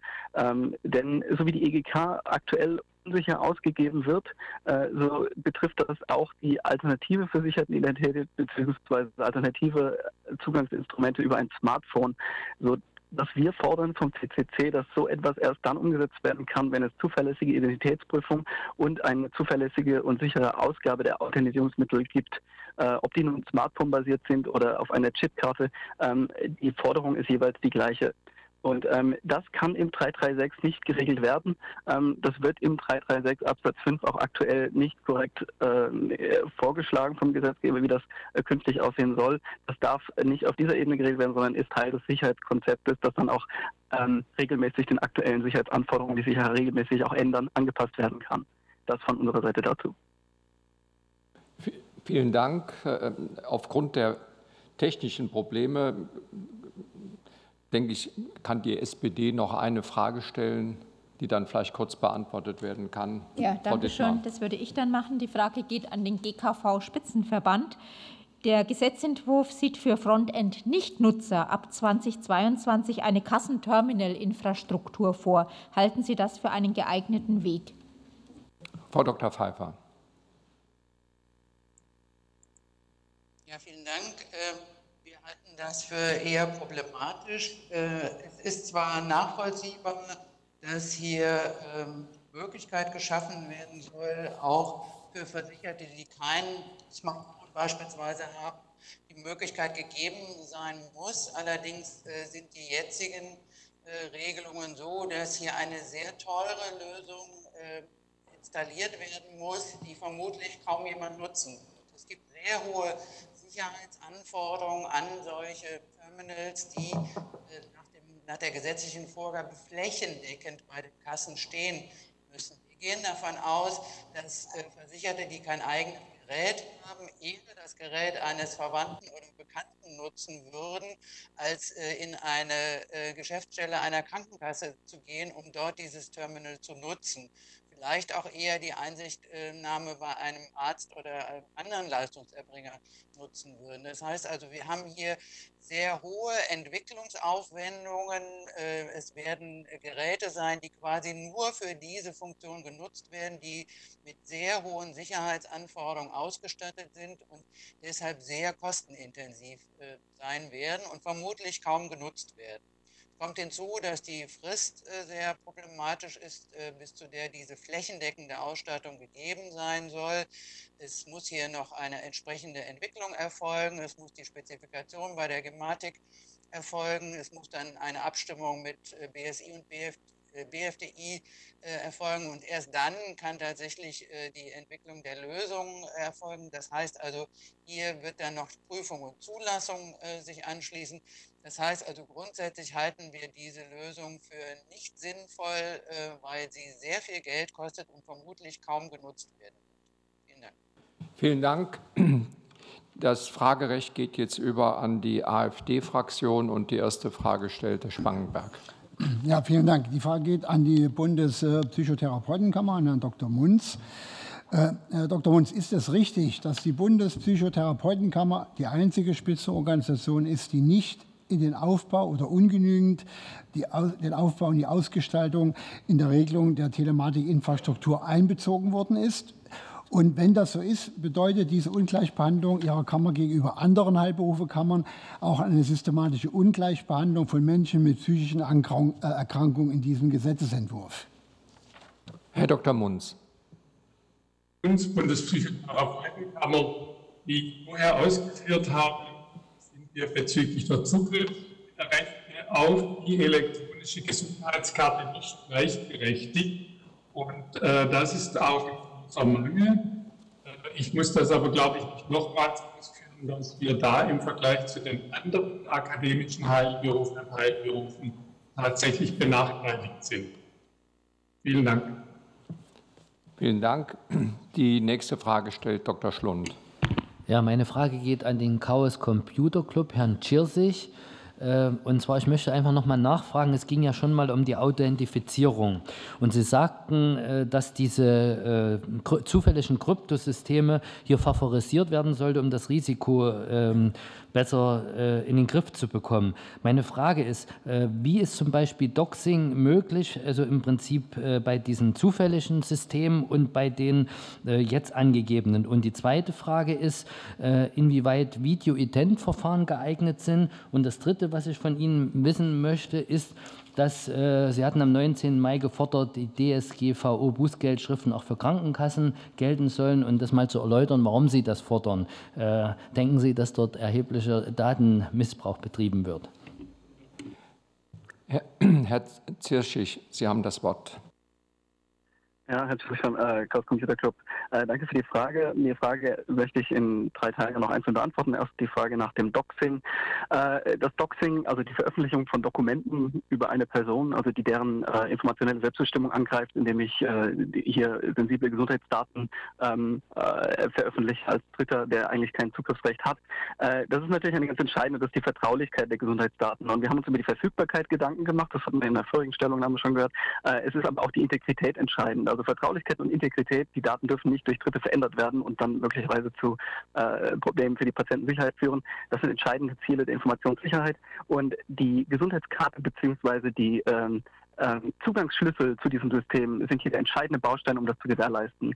Ähm, und wir sehen aktuell, dass wir wie, also die, die aktuelle Umsetzung dieses Zugangs ähm, äh, sieht vor, dass diese Zugangskarte, also aktuell noch die Gesundheitskarte, aber auch die alternative versicherte Identität, nur noch sozusagen ein Ausweis des Versicherten gegenüber einer zentralen Stelle ist, die dann den Schlüssel bereitstellt, um auf diese Daten zugreifen zu können. Ähm, wenn diese Ausweisfunktion, also die Gesundheitskarte oder diese Authentisierungsmittel für die alternative versicherten Identität in Hände Dritter gelangen, äh, ist damit auch der kryptografische Schutz äh, nicht gebrochen, aber dann nicht mehr wirksam, weil der Schlüssel dann in ein anderer ist. Also der Schlüssel selber ist recht sicher, aber da er sozusagen zentral vorgehalten wird, ähm, kann jemand anders mit in Besitz dieser Authentisierungsmittel diesen Schlüssel entgegennehmen. Und dann ist die Kryptographie keine Barriere mehr für den Zugriff. Deswegen kommt und da komme ich jetzt auch auf das Thema Videoident, ähm, der Identifikation des Antragstellers auf so eine äh, Gesundheitskarte oder auf eine alternative Identität ein sehr besonders hoher äh, Schutzbedarf äh, zu. Also das muss einem auf einem besonders hohen Vertrauensniveau geschehen. Ähm, das Videoidentverfahren wurde dort zu Recht auch vom BFDI schon nicht als, als nicht geeignet für den langfristigen Zugriff auf Gesundheitsdaten ähm, ähm, erwähnt. Ähm, das ist die äh, Empfehlung des BFDI, nicht auf das äh, Videoidentverfahren zu setzen, dass einfach diese Identprüfung gar nicht ermöglicht auf hohem Sicherheitsniveau, was wir jetzt brauchen, um sowohl die Vertraulichkeit als auch die Integrität dieser Daten dann äh, letztendlich gewähren zu können. Ähm, die Frage, warum der Chaos Computer Club äh, eine Einführung der DSGVO-Bußgelder auch für die Kassen, Krankenkassen, für die Krankenversicherung äh, anregt, äh, das ist ja nun eine alte Forderung, die jetzt aufgegriffen wird, weil es umso aktueller wird. Krankenkassen Krankenkassen sind aktuell oder künftig mit der EPA Herausgeber von Zugangsschlüsseln, die den größten Gesundheitsdatenschatz in Deutschland öffnen. Und in dieser Funktion kommt ihnen eine sehr hohe Verantwortung entgegen. Und es ist dann nicht erklärbar, warum dieser Verantwortung ähm, keine entsprechenden Sanktionsinstrumente gegenübergestellt werden, ja jede kleine Arztpraxis schon äh, fürchtet, äh, die aber bei einer Kasse aktuell nicht greifen. Und das, obwohl diese zentrale Verarbeitung oder Vorhaltung von Gesundheitsdaten ähm, eine so, ähm, eines so großen Datenschatzes jetzt einmalig äh, aufgebaut werden soll. Daher kommt die Forderung nach Einführung der DSGVO äh, Bußgeldern beziehungsweise das Streichen dieser Ausnahmeregelung, die auch dem Versicherten gegenüber nicht erklärbar ist. Vielen Dank. Die nächste Frage stellt Herr Spangenberg. Herr Podolai. Danke, Herr Vorsitzender. Meine Frage geht an Netzwerk-Datenschutzexperte Dr. Weichert. Es ist im Entwurf unter dem Paragraphen 363 vorgesehen, dass die Gesundheitsdaten für wissenschaftliche Forschungszwecke oder für statistische Zwecke genutzt werden.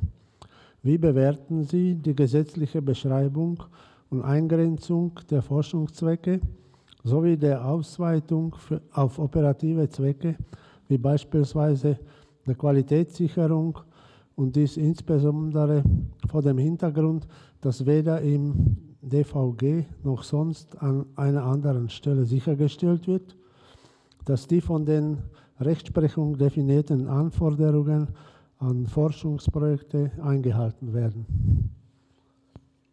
Herr Dr. Weischert. Ja, ich habe die Frage ganz schlecht verstanden weil wahrscheinlich der Sprecher zu sehr am Mikrofon war, aber ich versuche mal äh, zu, zu, beantworten. Sie gehen nach meinem Verständnis in die gleiche Richtung wie die SPD-Frage, nämlich äh, wie es gerechtfertigt werden kann, dass die EPA-Daten jetzt äh, für statistische Zwecke, für, Forscher, äh, für operative Zwecke auch genutzt werden können. Solange diese Daten ausschließlich anonymisiert an diese Stellen herausgegeben werden, ist das kein Problem. Das Problem aber besteht darin, dass die Daten beim Forschungsdatenzentrum in pseudonymisierter und damit auch leicht reidentifizierbarer ähm, Form äh, gespeichert sind und es ausschließlich in der Entscheidung des Forschungsdatenzentrums liegt, und zwar eines einzelnen Sachbearbeiters, ob die Daten herausgegeben werden oder nicht herausgegeben werden, auch dann für solche Zwecke, die Sie genannt haben. Und das hat dann zur Folge, dass im Prinzip es äh, ja auch nicht mehr kontrollierbar ist, wie diese Daten eben dann rausgegeben werden, wie sie genutzt werden. Es findet keine Kontrolle statt. die Dokumentation kann also nur begrenzt kontrolliert werden durch die Datenschutzbeauftragten, da sie im Prinzip keine ja, dauernde Kontrolle durchführen, sondern nur auf eine Beschwerde hin. Beschwerden kann es aber keine geben, weil die Betroffenen keine Ahnung davon haben, was mit ihren Daten passiert. Also insofern sehe ich da ein riesiges Problem, das aber weniger jetzt äh, nur in dieser Regelung in 263 äh, SGB V liegt, äh, des Entwurfs, sondern das schon angelegt im digitale Versorgungs ist im digitale Versorgungsgesetz, wo eben in den 303 äh, Folgen A folgende eben geregelt ist, wie das Datenforschungszentrum auch mit den Verschreibungsdaten und den Abrechnungsdaten nach SGB V umzugehen hat. Vielen Dank. Die nächste Frage stellt Herr Spangenberg. Ja, meine Frage geht an die Verbraucherzentrale Bundesverband, an Frau Mauersberg. Seit dem 1. Januar 2022 soll es ja nur noch elektronische Verordnungen für Arzneimittel geben, also die also elektronische Rezeptpflicht. Im Referentenentwurf sollte die Papierversion des Rezepts noch parallel weiter bestehen. Das wurde dann herausgenommen. Äh, jetzt die Frage, wie sehen Sie hier die Schwächen und Risiken in der Praxis, vor allem ältere Menschen, die keine elektronischen Geräte benutzen. Wie stehen die da? Ist das nicht Benachteiligung und wie könnte man dieses Problem lösen? Vielen Dank. Frau Mauersberg. Ja, vielen Dank für die Frage. Beim elektronischen äh, Rezept, denke ich, ist jetzt auch gerade wieder die Transparenz sehr schlecht. Ich habe jetzt der Unterrichtung der Bundesregierung auf die Stellungnahme des Bundesrates entnommen, dass es ja vorgesehen ist, dass die Bundesmantelvertragspartner sich darüber verständigen, wie jetzt mit diesem Token umgegangen wird. Und dass es natürlich auch die Möglichkeit gibt, wenn der Patient einen Papierausdruck von dem Rezepttoken haben will, dass man dann ihm außerdem die Information gibt, welcher Wirkstoff verordnet worden ist, welches Medikament. Das ist im Moment in der Öffentlichkeit alles nicht wirklich durchsichtig, wie das mit dem E-Rezept gehen soll. Also wir finden grundsätzlich natürlich nicht ganz optimal, dass jetzt wieder über ganz viele organisatorische Fragen diskutiert wird und die Fragen, die eigentlich die Bürger interessieren. Wie komme ich denn irgendwie an eine gescheite Lösung? Nicht fünf Apps auf meinem Smartphone haben zu müssen, sondern irgendwie eine durchgängige One-Shop-Lösung. Das ist im Moment alles auch nicht gut äh, nachvollziehbar. Aber es ist wohl vorgesehen, dass die Bundesmantelvertragspartner das regeln können und deswegen ähm, wollen wir natürlich jetzt auch gerne dann auffordern, dass die Bundesmantelvertragspartner das bitte genauso machen mögen, dass das ähm, das Token-Teil da vom E-Rezept, dass das auch Informationen enthält, wie gegenwärtig das papiergebundene Rezept, damit Versicherte die gleiche Informationslage haben wie gegenwärtig. Vielen Dank. Wir haben noch eine halbe Minute. Kurze Frage, kurze Antwort, Herr Dr. Schlund. Ja, ganz kurz. Äh, die Frage ging auch schon mal an die KBV. Ich würde die gerne noch mal an die Bundesärztekammer stellen. Es geht um die Erstbefüllung der äh, elektronischen Patientenakte. Und äh, wie kritisch sehen Sie, dass die nur einmal abgerechnet werden kann, auch hinsichtlich der Führung dieser Akte, dass die dann eben einfach nicht genau ist, weil die Ärzte es nicht abgerechnet bekommen? Herr Bodendieck. Ja, Erik Bodendieck für die Bundesärztekammer. Ich versuche mich noch mal kurz zu halten. Ich halte die einmalige Gebühr oder wir halten die einmalige Gebühr für nicht zielführend, insbesondere unter dem Hinblick, dass die Patientenakte ja nach Möglichkeit auch keine Dropbox sein soll, sondern äh, ich hoffe, ich bin verständlich. Ich rede doch lieber langsamer.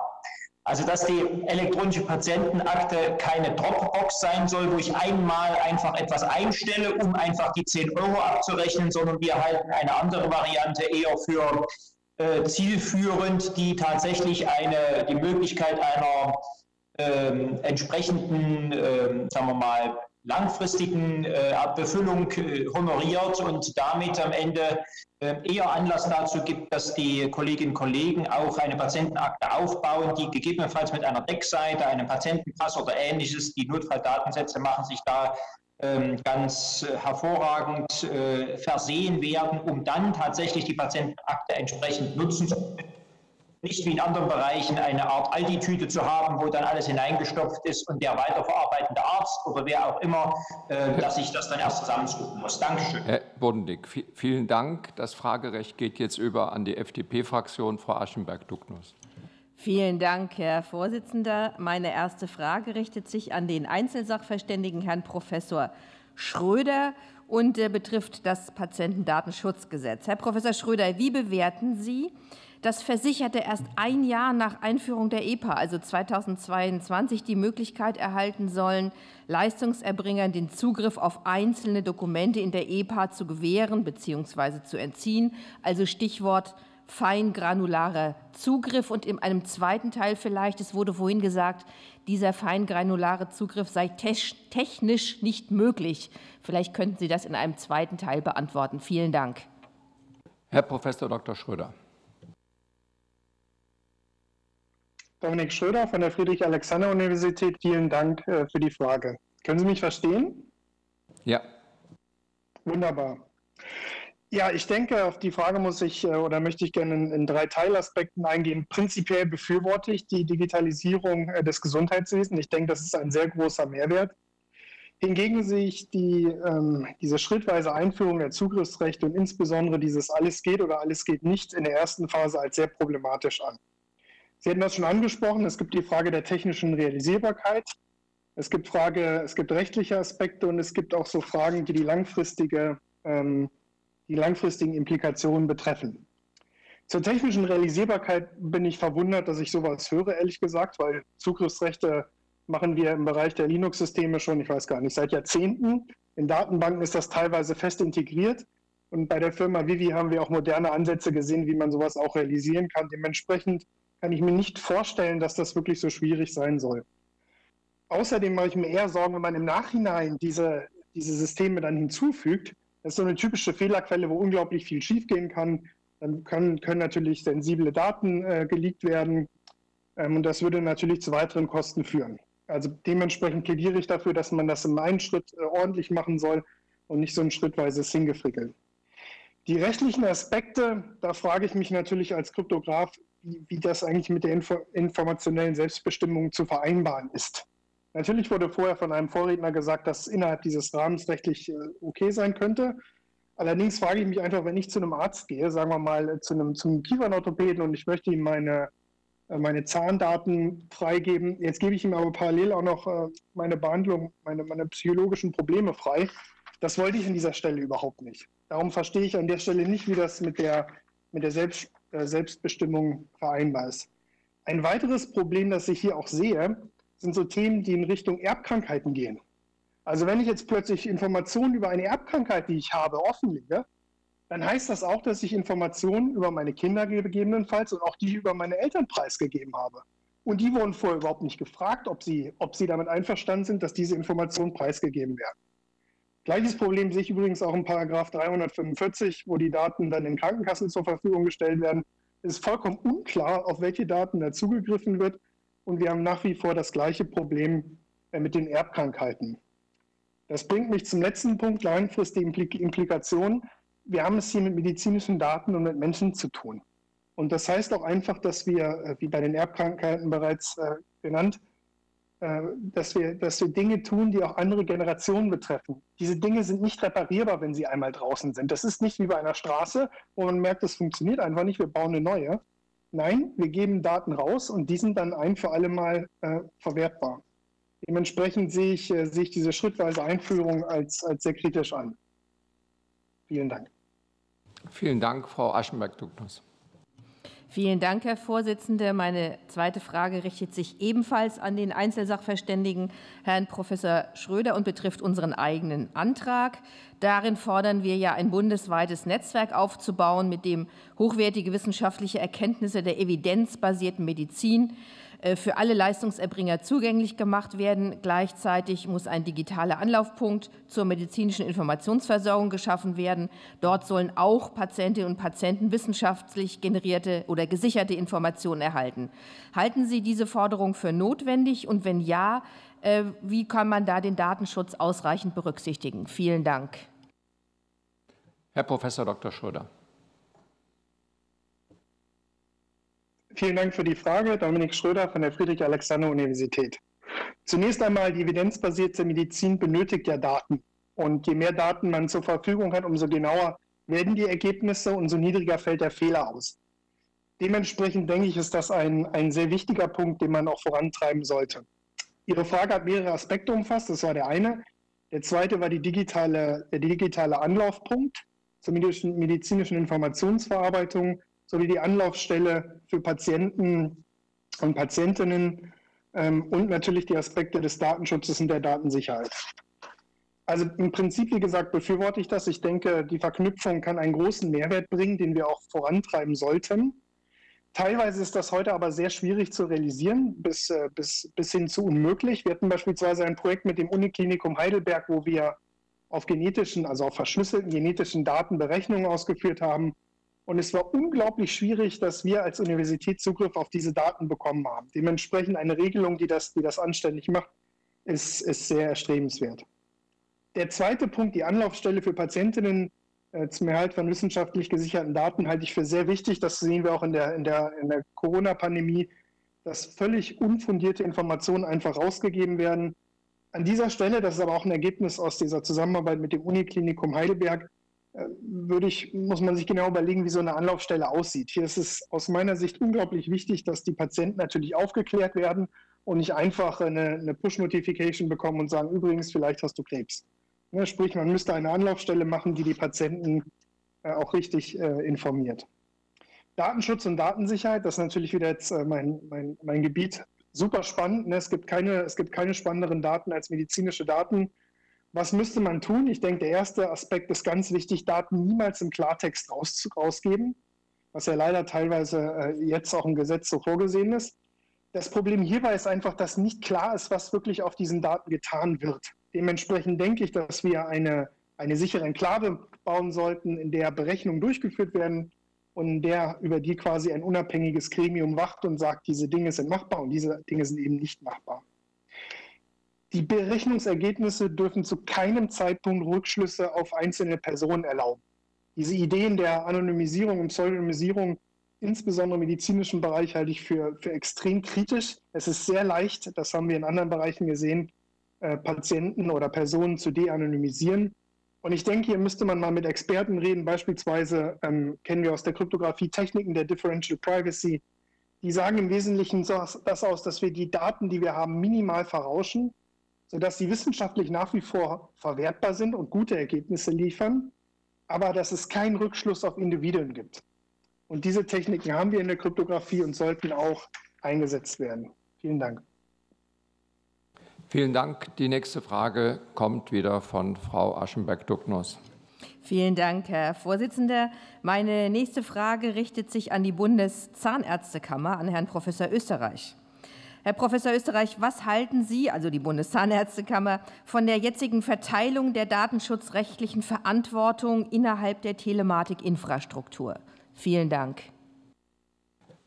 Herr Professor Dr. Österreich, Sie haben das Wort für knapp zwei Minuten.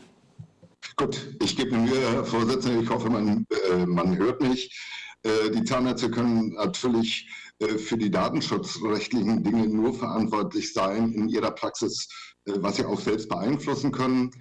Diese Auffassung entspricht ja auch dem Verantwortungsbegriff der Datenschutzgrundverordnung.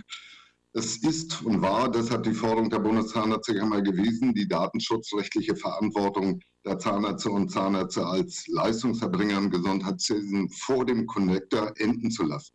Wir begrüßen es, dass sich der Gesetzgeber dieser Forderung in weiten Teilen genähert hat.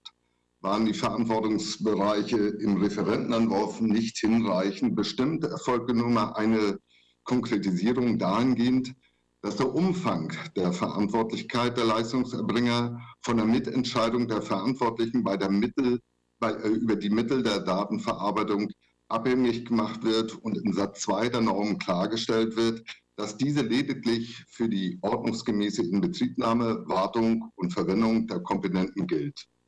Genauso wird anerkannt, dass der Gesetzgeber eine klare Aussage dazu trifft, dass in Praxen weniger als 20 der ähm, der Mitarbeiter, die mit der Datenverarbeitung beschäftigt sind, nach den Einzelfallumständen regelmäßig keine Datenschutzfolgeabschätzung durchzuführen ist und damit kein Datenschutzbeauftragter zu benennen ist. Begrüßenswert ist auch, dass die vorliegende Konzeption des Entwurfs die Verantwortlichkeit der Leistungserbringer weder für die zentrale TI noch für die Anwenderinfrastruktur und die diesbezüglichen Dienste besteht. Äh, auch die Aufnahme der Gematik in den Kreis der datenschutzrechtlich Verantwortlichen ist somit Konsequenz. äh, konsequent. Nach Auffassung der Bundeszahnärztekammer tragen diese Änderungen durch den Gesetzgeber doch deutlich zur Akzeptanz der Telematikinfrastruktur in den zahnärztlichen Leistungserbringern bei. Gleichwohl sollte in der Gesetzungsbegründung zu 307 Absatz 1 Satz 2 SGB 5 noch zur Vermeidung von Fehlinterpretationen klargestellt werden, dass sich die Verantwortlichkeit der Leistungserbringer eben nur und nicht wie derzeit formuliert schwerpunktmäßig auf die Sicherstellung bestimmungsgemäßen, äh, der bestimmungsgemäßen Nutzung der Komponenten, deren ordnungsgemäßen Abschluss und die Durchführung der erforderlichen fortlaufenden Updates erstreckt. Ansonsten sieht die Bundeszahnärztekammer die Gefahr, dass der, äh, die Entwurfsbegründung in Paragraph 307 konterkariert wird. Ebenso setzt sich die Bundeszahnärztekammer dafür ein, den Leistungserbringern keine verpflichtende technische und organisatorischen Maßnahmen aufzuerlegen, die über die datenschutzrechtlichen Regelungen hinausgehen. Deswegen äh, lehnt die Bundeszahnärztekammer die mit dem Entwurf einhergehende Ausweitung der Regierung von zwei bis drei Jahre ab. Danke. Herr Professor Dr. Österreich, vielen Dank. Ähm, das waren keine zwei Minuten. Äh, deshalb geht das äh, Fragerecht jetzt über an die Fraktion Die Linke. Und die erste Frage stellt Herr Dr. Kessler. Vielen Dank, Herr Vorsitzender. Meine erste Frage geht an Herrn Tschirsich äh, vom Chaos Computer Club. Herr Tschirsich, Sie kritisieren in Ihrer Stellungnahme, dass das Patientendatenschutzgesetz trotz der massiven öffentlichen Kritik weiterhin gravierende Sicherheitsmängel im Hinblick auf die Vergabe von Zugangsberechtigungen zur Telematikinfrastruktur äh, beinhaltet. Wir fordern in unserem Antrag zum äh, Gesundheitsdatenschutz eine sichere Identifizierung und Authentifizierung für den Zugang zur Telematikinfrastruktur. Wir fordern stärkere Vorgaben für die nicht technische Umgebung der Telematikinfrastruktur und eine Stärkung des institutionellen Gesundheitsdatenschutzes. Können Sie bitte kurz unsere Vorschläge zur Lösung bewerten? Herr, Zirzig, Sie haben das Wort. Ja, Martin Schirbich, äh, Sachverständiger des Chaos Computer Club. Und äh, äh, vielen Dank für diese wirklich entscheidende Frage für das Ding des Gesetzesvorhabens.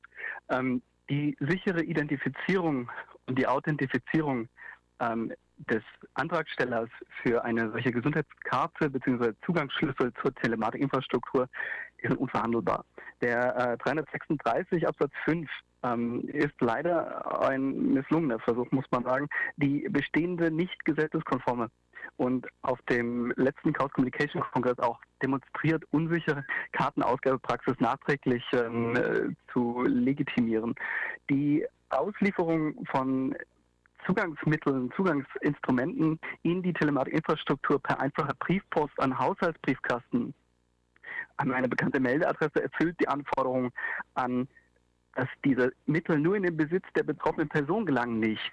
Und ähm, das ist übrigens ein bekanntes, eine bekannte Forderung bzw. ein bekanntes äh, Phänomen, dass eine solche Auslieferung, wie sie im 336 gefordert wird, kein Identifizierungs- und auch kein sicheres Authentisierungsmittel bzw. Übergabemedium für eine Authentisierungs, äh, ein Authentisierungsmittel sind. Das hat damals schon Bitkom beispielsweise in der Stellungnahme zum Onlinezugangsgesetz angemerkt, als es um ESSO-Zertifikate ging, die ja ebenfalls auch nur an eine Haushaltsbriefkasten zugestellt werden und dementsprechend auch ganz berechtigt nicht den Zugriff auf beispielsweise vorausgefüllte äh, Steuererklärungen erlauben. Und da muss man sich fragen, warum man mit solch einem Instrument jetzt den Zugriff auf lebenslang gespeicherte Gesundheitsdaten ermöglichen möchte. Äh, das ist dann nämlich nur ein niedriges Sicherheitsniveau und das ist für eine äh, lebenslange Akte für alle Krankheits- und Gesundheitsdaten dafür sicherlich angemessen. Ähm, dann haben wir natürlich auch zu dem Thema der, also nicht nur der Authentisierung oder Identifizierung, sondern den ursächlichen ähm, äh, Ursachen für diese, diese Verfehlungen oder diese Mängel äh, festgestellt, dass es hier auf Seiten der GKV Versäumnisse gibt, die schon viele Jahre zurückreichen, äh, die auch die Nichtumsetzung von Empfehlungen des BFDI betreffen. Ähm, Kassen sind zur gesetzlichen zur Einhaltung des Sozialgeheimnisses verpflichtet und diese Verpflichtung wird leider hier als zentrale Herausgeber dieser Zugangskarten nicht eingehalten ähm, und daher fordern wir auch, dass es ähm, hier für Pflichtverletzungen entsprechende, dass die entsprechende Konsequenzen haben müssen und gehen damit auch auf den Antrag der äh, Fraktion Die Linke ähm, entsprechend ein, dass hier eine, eine volle Haftbarkeit gegeben sein muss. Ansonsten ist eine solche verantwortungsvolle Position und dieses äh, tragende Verantwortung auch nicht vermittelbar. Betroffene sind bei der Durchsetzung von entsprechenden Ansprüchen auch zu unterstützen. Also wenn ein Versicherter die äh, Daten dort einspeist, muss er die Gewissheit haben, dass wenn es zu einem Datenmangel, einer Datenpanne kommt, dass er entsprechende Unterstützung findet. Ähm, Zudem ist auch die nicht technische Umgebung der TI zu stärken. Äh, wir haben gesehen, dass all die auf dem letzten Chaos Communication Kongress aufgezeigten Mängel nicht technischer, das heißt organisatorische Natur waren. Ähm, die, dem Versicherten ist es gleich, beziehungsweise es ist irrelevant, ob nun Daten offenbart werden, seine Gesundheitsdaten offenbart werden oder manipuliert werden aufgrund eines technischen oder eines nicht technischen Mangels. Von daher ist was die nicht technische Umgebung angeht, also die Handhabung beispielsweise von Zugangsinstrumenten, äh, die Leistungserbringerumgebung, die Umgebung des Versicherten, äh, hier ist ähm, aufzuklären und äh, Betroffene sind dort zu unterstützen, auch Leistungserbringer sind dort zu unterstützen, dass es dort zu keinen nicht technischen Mängeln kommt. Vielen Dank. Die nächste Frage stellt Herr Weinberg. Ja, vielen Dank, Herr Vorsitzender. Die Frage geht an die Abda, Dr. Schmitz, zum Thema äh, E-Rezept auch nochmal. Wie bewerten Sie die Forderungen aus unserem Antrag, elektronisches Rezept freiwillig und sicher ausgestalten, im Vergleich zu den Regelungen, äh, die die Vorlage der Bundesregierung bezüglich Zuweisung und Makelverbot beim E-Rezept vorsieht? Herr Dr. Schmitz. Ja, Herr Schmitz für die Abda.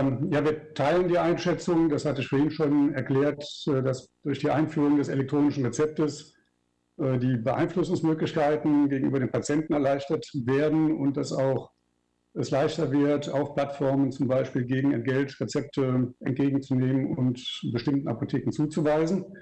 Ähm, da ist es ja, wie gesagt, im ersten Schritt richtig, dass das PDSG jetzt äh, das Markeverbot vorsieht und ausweitet auf Dritte. Äh, es fehlen aus unserer Sicht, auch das hatte ich gerade schon ausgeführt, äh, noch die Schritte, um dieses Markerverbot auch technisch abzusichern, was aus unserer Sicht sehr leicht möglich ist und gegen das auch eigentlich überhaupt nicht spricht, wenn man diesen unbeeinflussten Weg von der Apotheke, vom Arzt bis zur Apotheke ähm, einrichten möchte.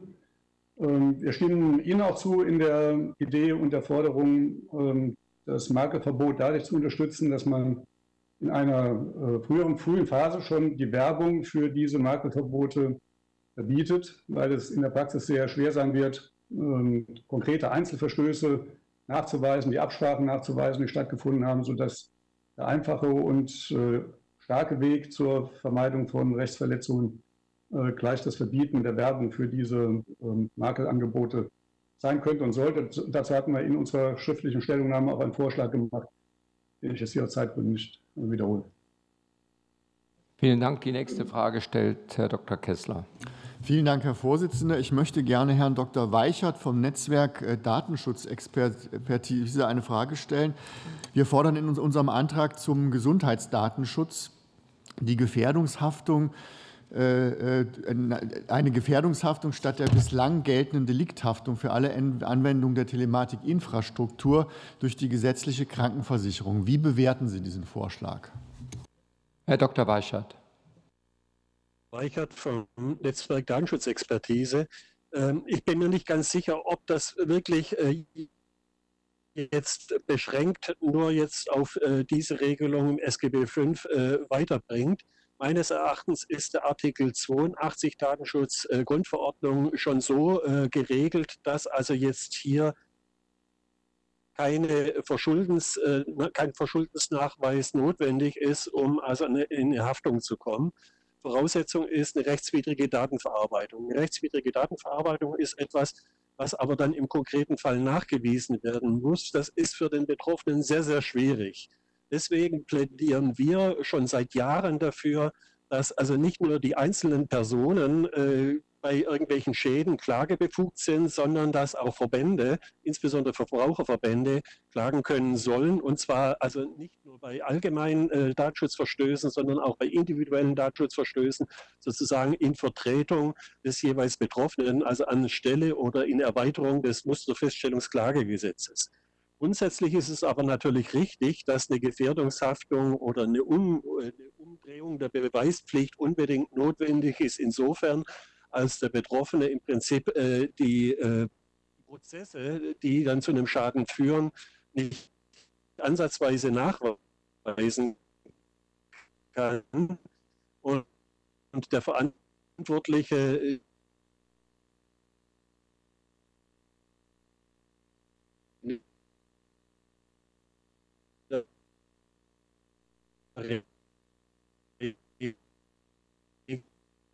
eben dann also die Thematik oder äh, die äh, sonst die Dienstan Herr Dr. Weichert, ich glaube, Sie müssen die letzten zwei, drei Sätze noch mal wiederholen. Äh, nachgewiesen wird, äh, also die Verursachung durch die, äh, die, die rechtswidrige Datenverarbeitung, äh, dass also der konkrete Schaden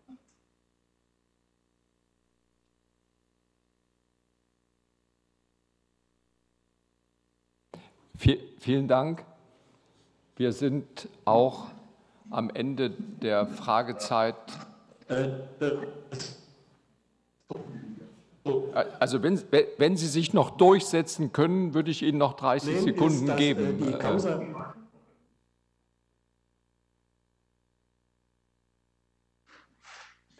Wir, wir können Sie leider nicht mehr verstehen, Herr Dr. Weichelt.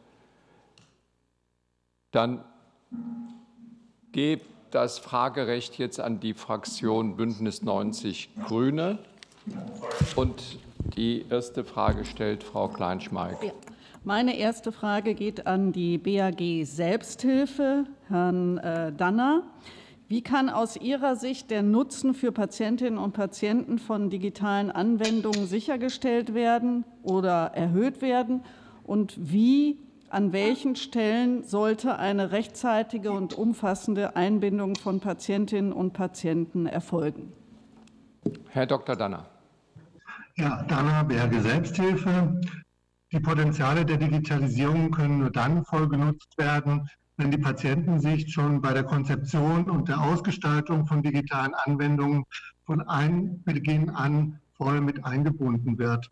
Gerade die Digitalisierung muss jeweils immer mit Patientenbeteiligung auch unterlegt werden, um sicherzustellen, dass die Daten tatsächlich im Patientennutzen dann verwendet werden und um natürlich auch die Akzeptanz in der Bevölkerung zu schaffen. Und das schon mehrfach hier angesprochene Beispiel des elektronischen Rezepts zeigt ja, dass bislang vor allem der Transportweg der Medikamentenabgabe hier im Fokus stand und letztendlich eine recht merkwürdige Tokenlösung im Raume steht, wo ja dann der Patient unter Umständen in der ersten Phase weniger Informationen in den Händen hält als beim Papierrezept und stattdessen fehlen Funktionalitäten wie Dosierungs- und Einnahmehinweise für die Patienten. Und es ist ja ganz klar, dass das elektronische Rezept in der Bevölkerung wesentlich bessere Akzeptanz hätte, wenn schon von Anfang an an diese Funktionalitäten gedacht worden wäre. Und ganz ähnlich verhält sich es auch im Zusammenhang zwischen der elektronischen Patientenakte und dem nationalen Gesundheitsportal,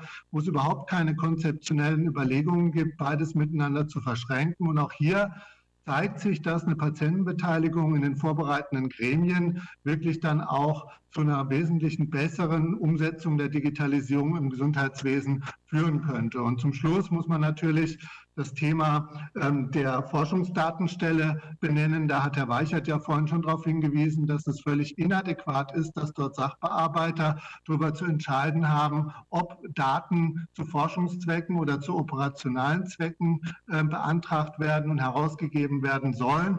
Und da ist es ganz klar, dass eine Patientenbeteiligung der Patientenorganisationen in den entsprechenden Gremien auf jeden Fall angezeigt wäre. Vielleicht kann man noch dazu fügen, dass in dem aktuellen Entwurf der Datentransparenzverordnung auch eingeräumt wird, dass es ein Reidentifikationsrisiko bei jeder Datennutzung gibt, die die Forschung, Forschungsdatenstelle hier sozusagen zu bearbeiten hat. Und schon allein die Risikoabwägung äh, im Hinblick auf diese Frage macht es erforderlich, dass es eine Patientenbeteiligung gibt.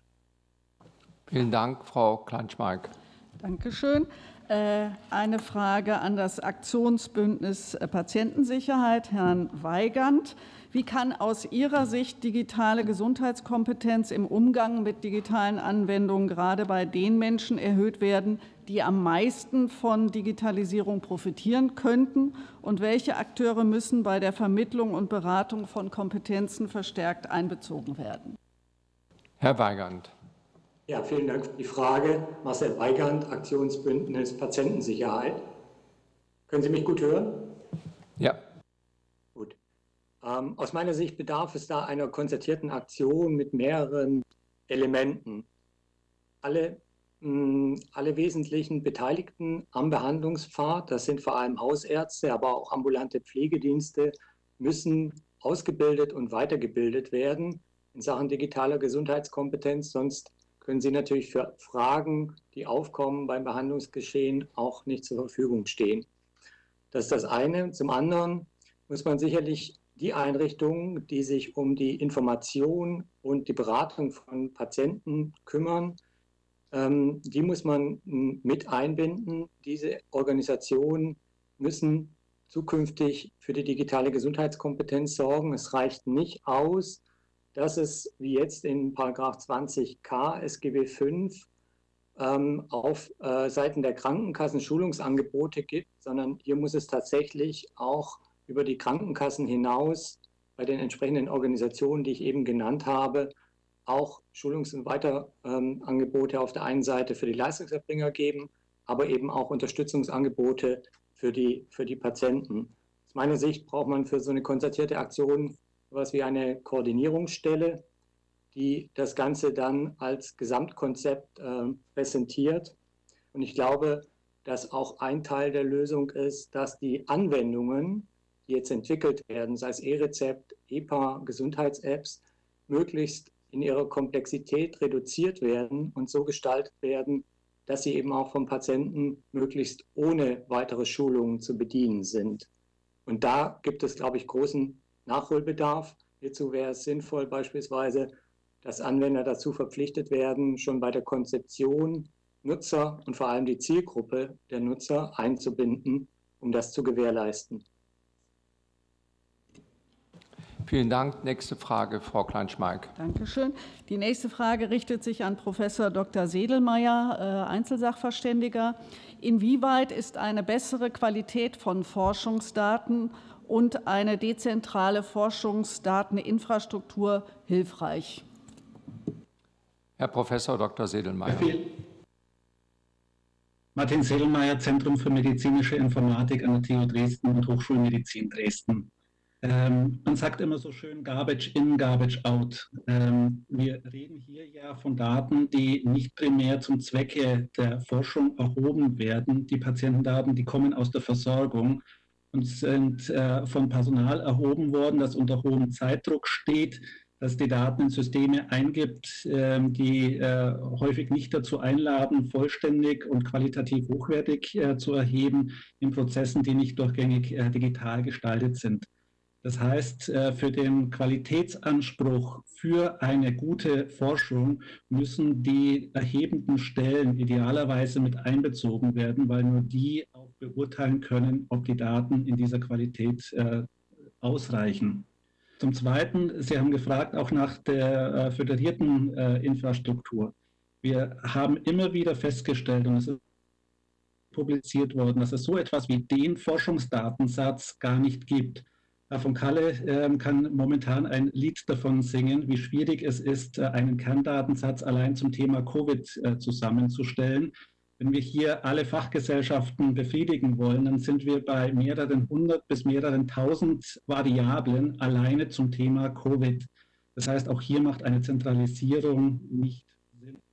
Und äh, Herr Schröder hat es auch schon angesprochen, auch das Thema verteiltes Rechnen ist eine Chance, Daten auszuwerten am Ort ihrer Entstehung, ohne sie äh, mit allen Risiken für Datenschutzbrüche äh, und äh, Angriffe zentralisieren zu müssen. Das heißt, es gibt sehr viele Gründe, weshalb föderierte Infrastrukturen und die Einbeziehung der äh, erhebenden Stellen Sinn machen ja, es benötigt eine zentrale Governance. Die äh, Datenelemente müssen definiert werden, die Standards müssen vorgegeben werden. Das soll zentral, nachhaltig und auch verbindlich sein, aber äh, eben nicht zu einer Zentralisierung der Daten selbst führen, sondern das ist idealerweise durch eine föderierte Infrastruktur geleistet. Vielen Dank. Vielen Dank, Frau Kleinschmeig. Die nächste Frage geht an Herrn Weichert. Falls Herr Weichert jetzt äh, äh, tatsächlich durchdringen kann. Wie bewerten Sie die aktuelle datenschutzrechtliche Situation für die Gesundheitsforschung und was wäre äh, Ihr Vorschlag für eine Reform? Herr Dr. Weichert. Ja, ich bin wieder da, Weichert vom Netzwerk Datenschutzexpertise. Die Rechtslage im Forschungsmedizin-Forschungsbereich ist derzeit sehr unübersichtlich. Wir haben die Regelung SGB 10, dann die Regelung SGB 5, da insbesondere die 303a folgende. Wir haben die äh, ärztlichen Berufsordnungen, wir haben als Scharnierregelung das Bundesdatenschutzgesetz, dann viele Spezialregelungen, Transplantationsgesetz, Implant, äh, Implantate-Registergesetz, Transfusionsgesetz und so weiter und so fort.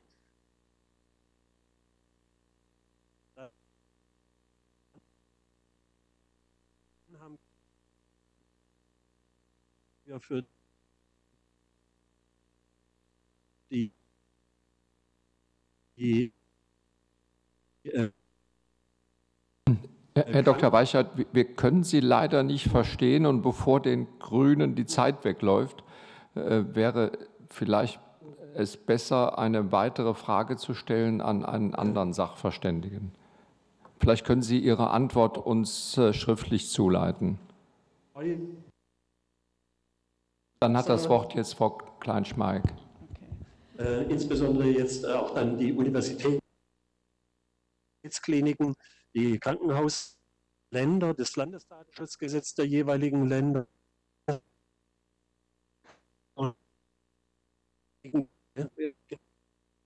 Hören Sie mich? Nein, nein, wir, wir hören Sie Was nicht. Was ist der Regelungsbedarf? Der Regelungsbedarf besteht darin, zunächst einmal äh, zu definieren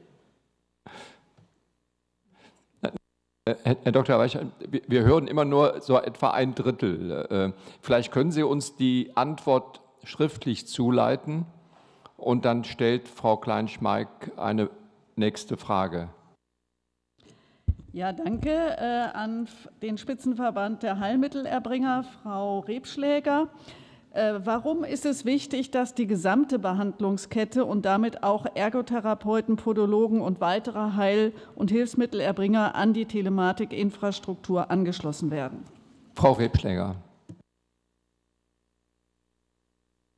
Ja, herzlichen Dank für die Frage. Die Digitalisierung im Gesundheitswesen kann ja nur ihre volle Wirkung entfalten, wenn wirklich alle Leistungserbringer an die elektronischen an, auf die elektronischen äh, Anwendungen zugreifen können. Wenn das nicht geschieht, werden bestimmte Akteure von Beginn an abgehängt und benachteiligt. Das kann nicht sein. Derzeit sollen ja zwar Physiotherapeuten an die Telematikinfrastruktur angeschlossen werden, aber andere Heilmittelerbringer, wie zum Beispiel die Ergotherapeuten und die Podologen, noch nicht. Und äh, all diese Berufsgruppen leisten aber auch einen wichtigen Beitrag zur Gesundheit der Patienten.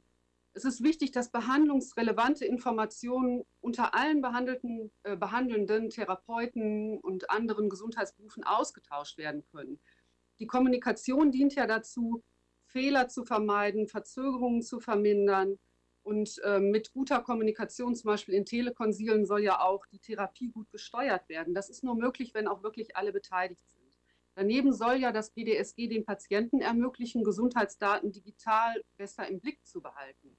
Und Gesundheitsfachberufe sind ein wesentlicher systemrelevanter Bestandteil der Gesundheitsversorgung vieler Patienten.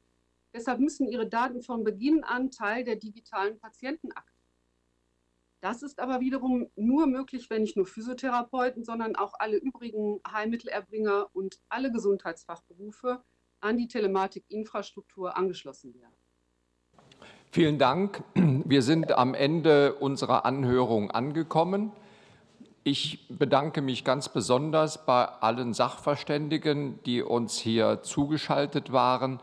Leider konnten nicht alle Sachverständigen äh, ihre Expertise hier einbringen, aber ich äh, glaube, dass also die Meinungen der Sachverständigen in die Diskussion einfließen werden, weil ja viele eine schriftliche Stellungnahme abgegeben haben. Deshalb äh, auch noch mal ein ganz besonderes Dankeschön an die, die dabei waren, aber nicht zu Wort kommen konnten.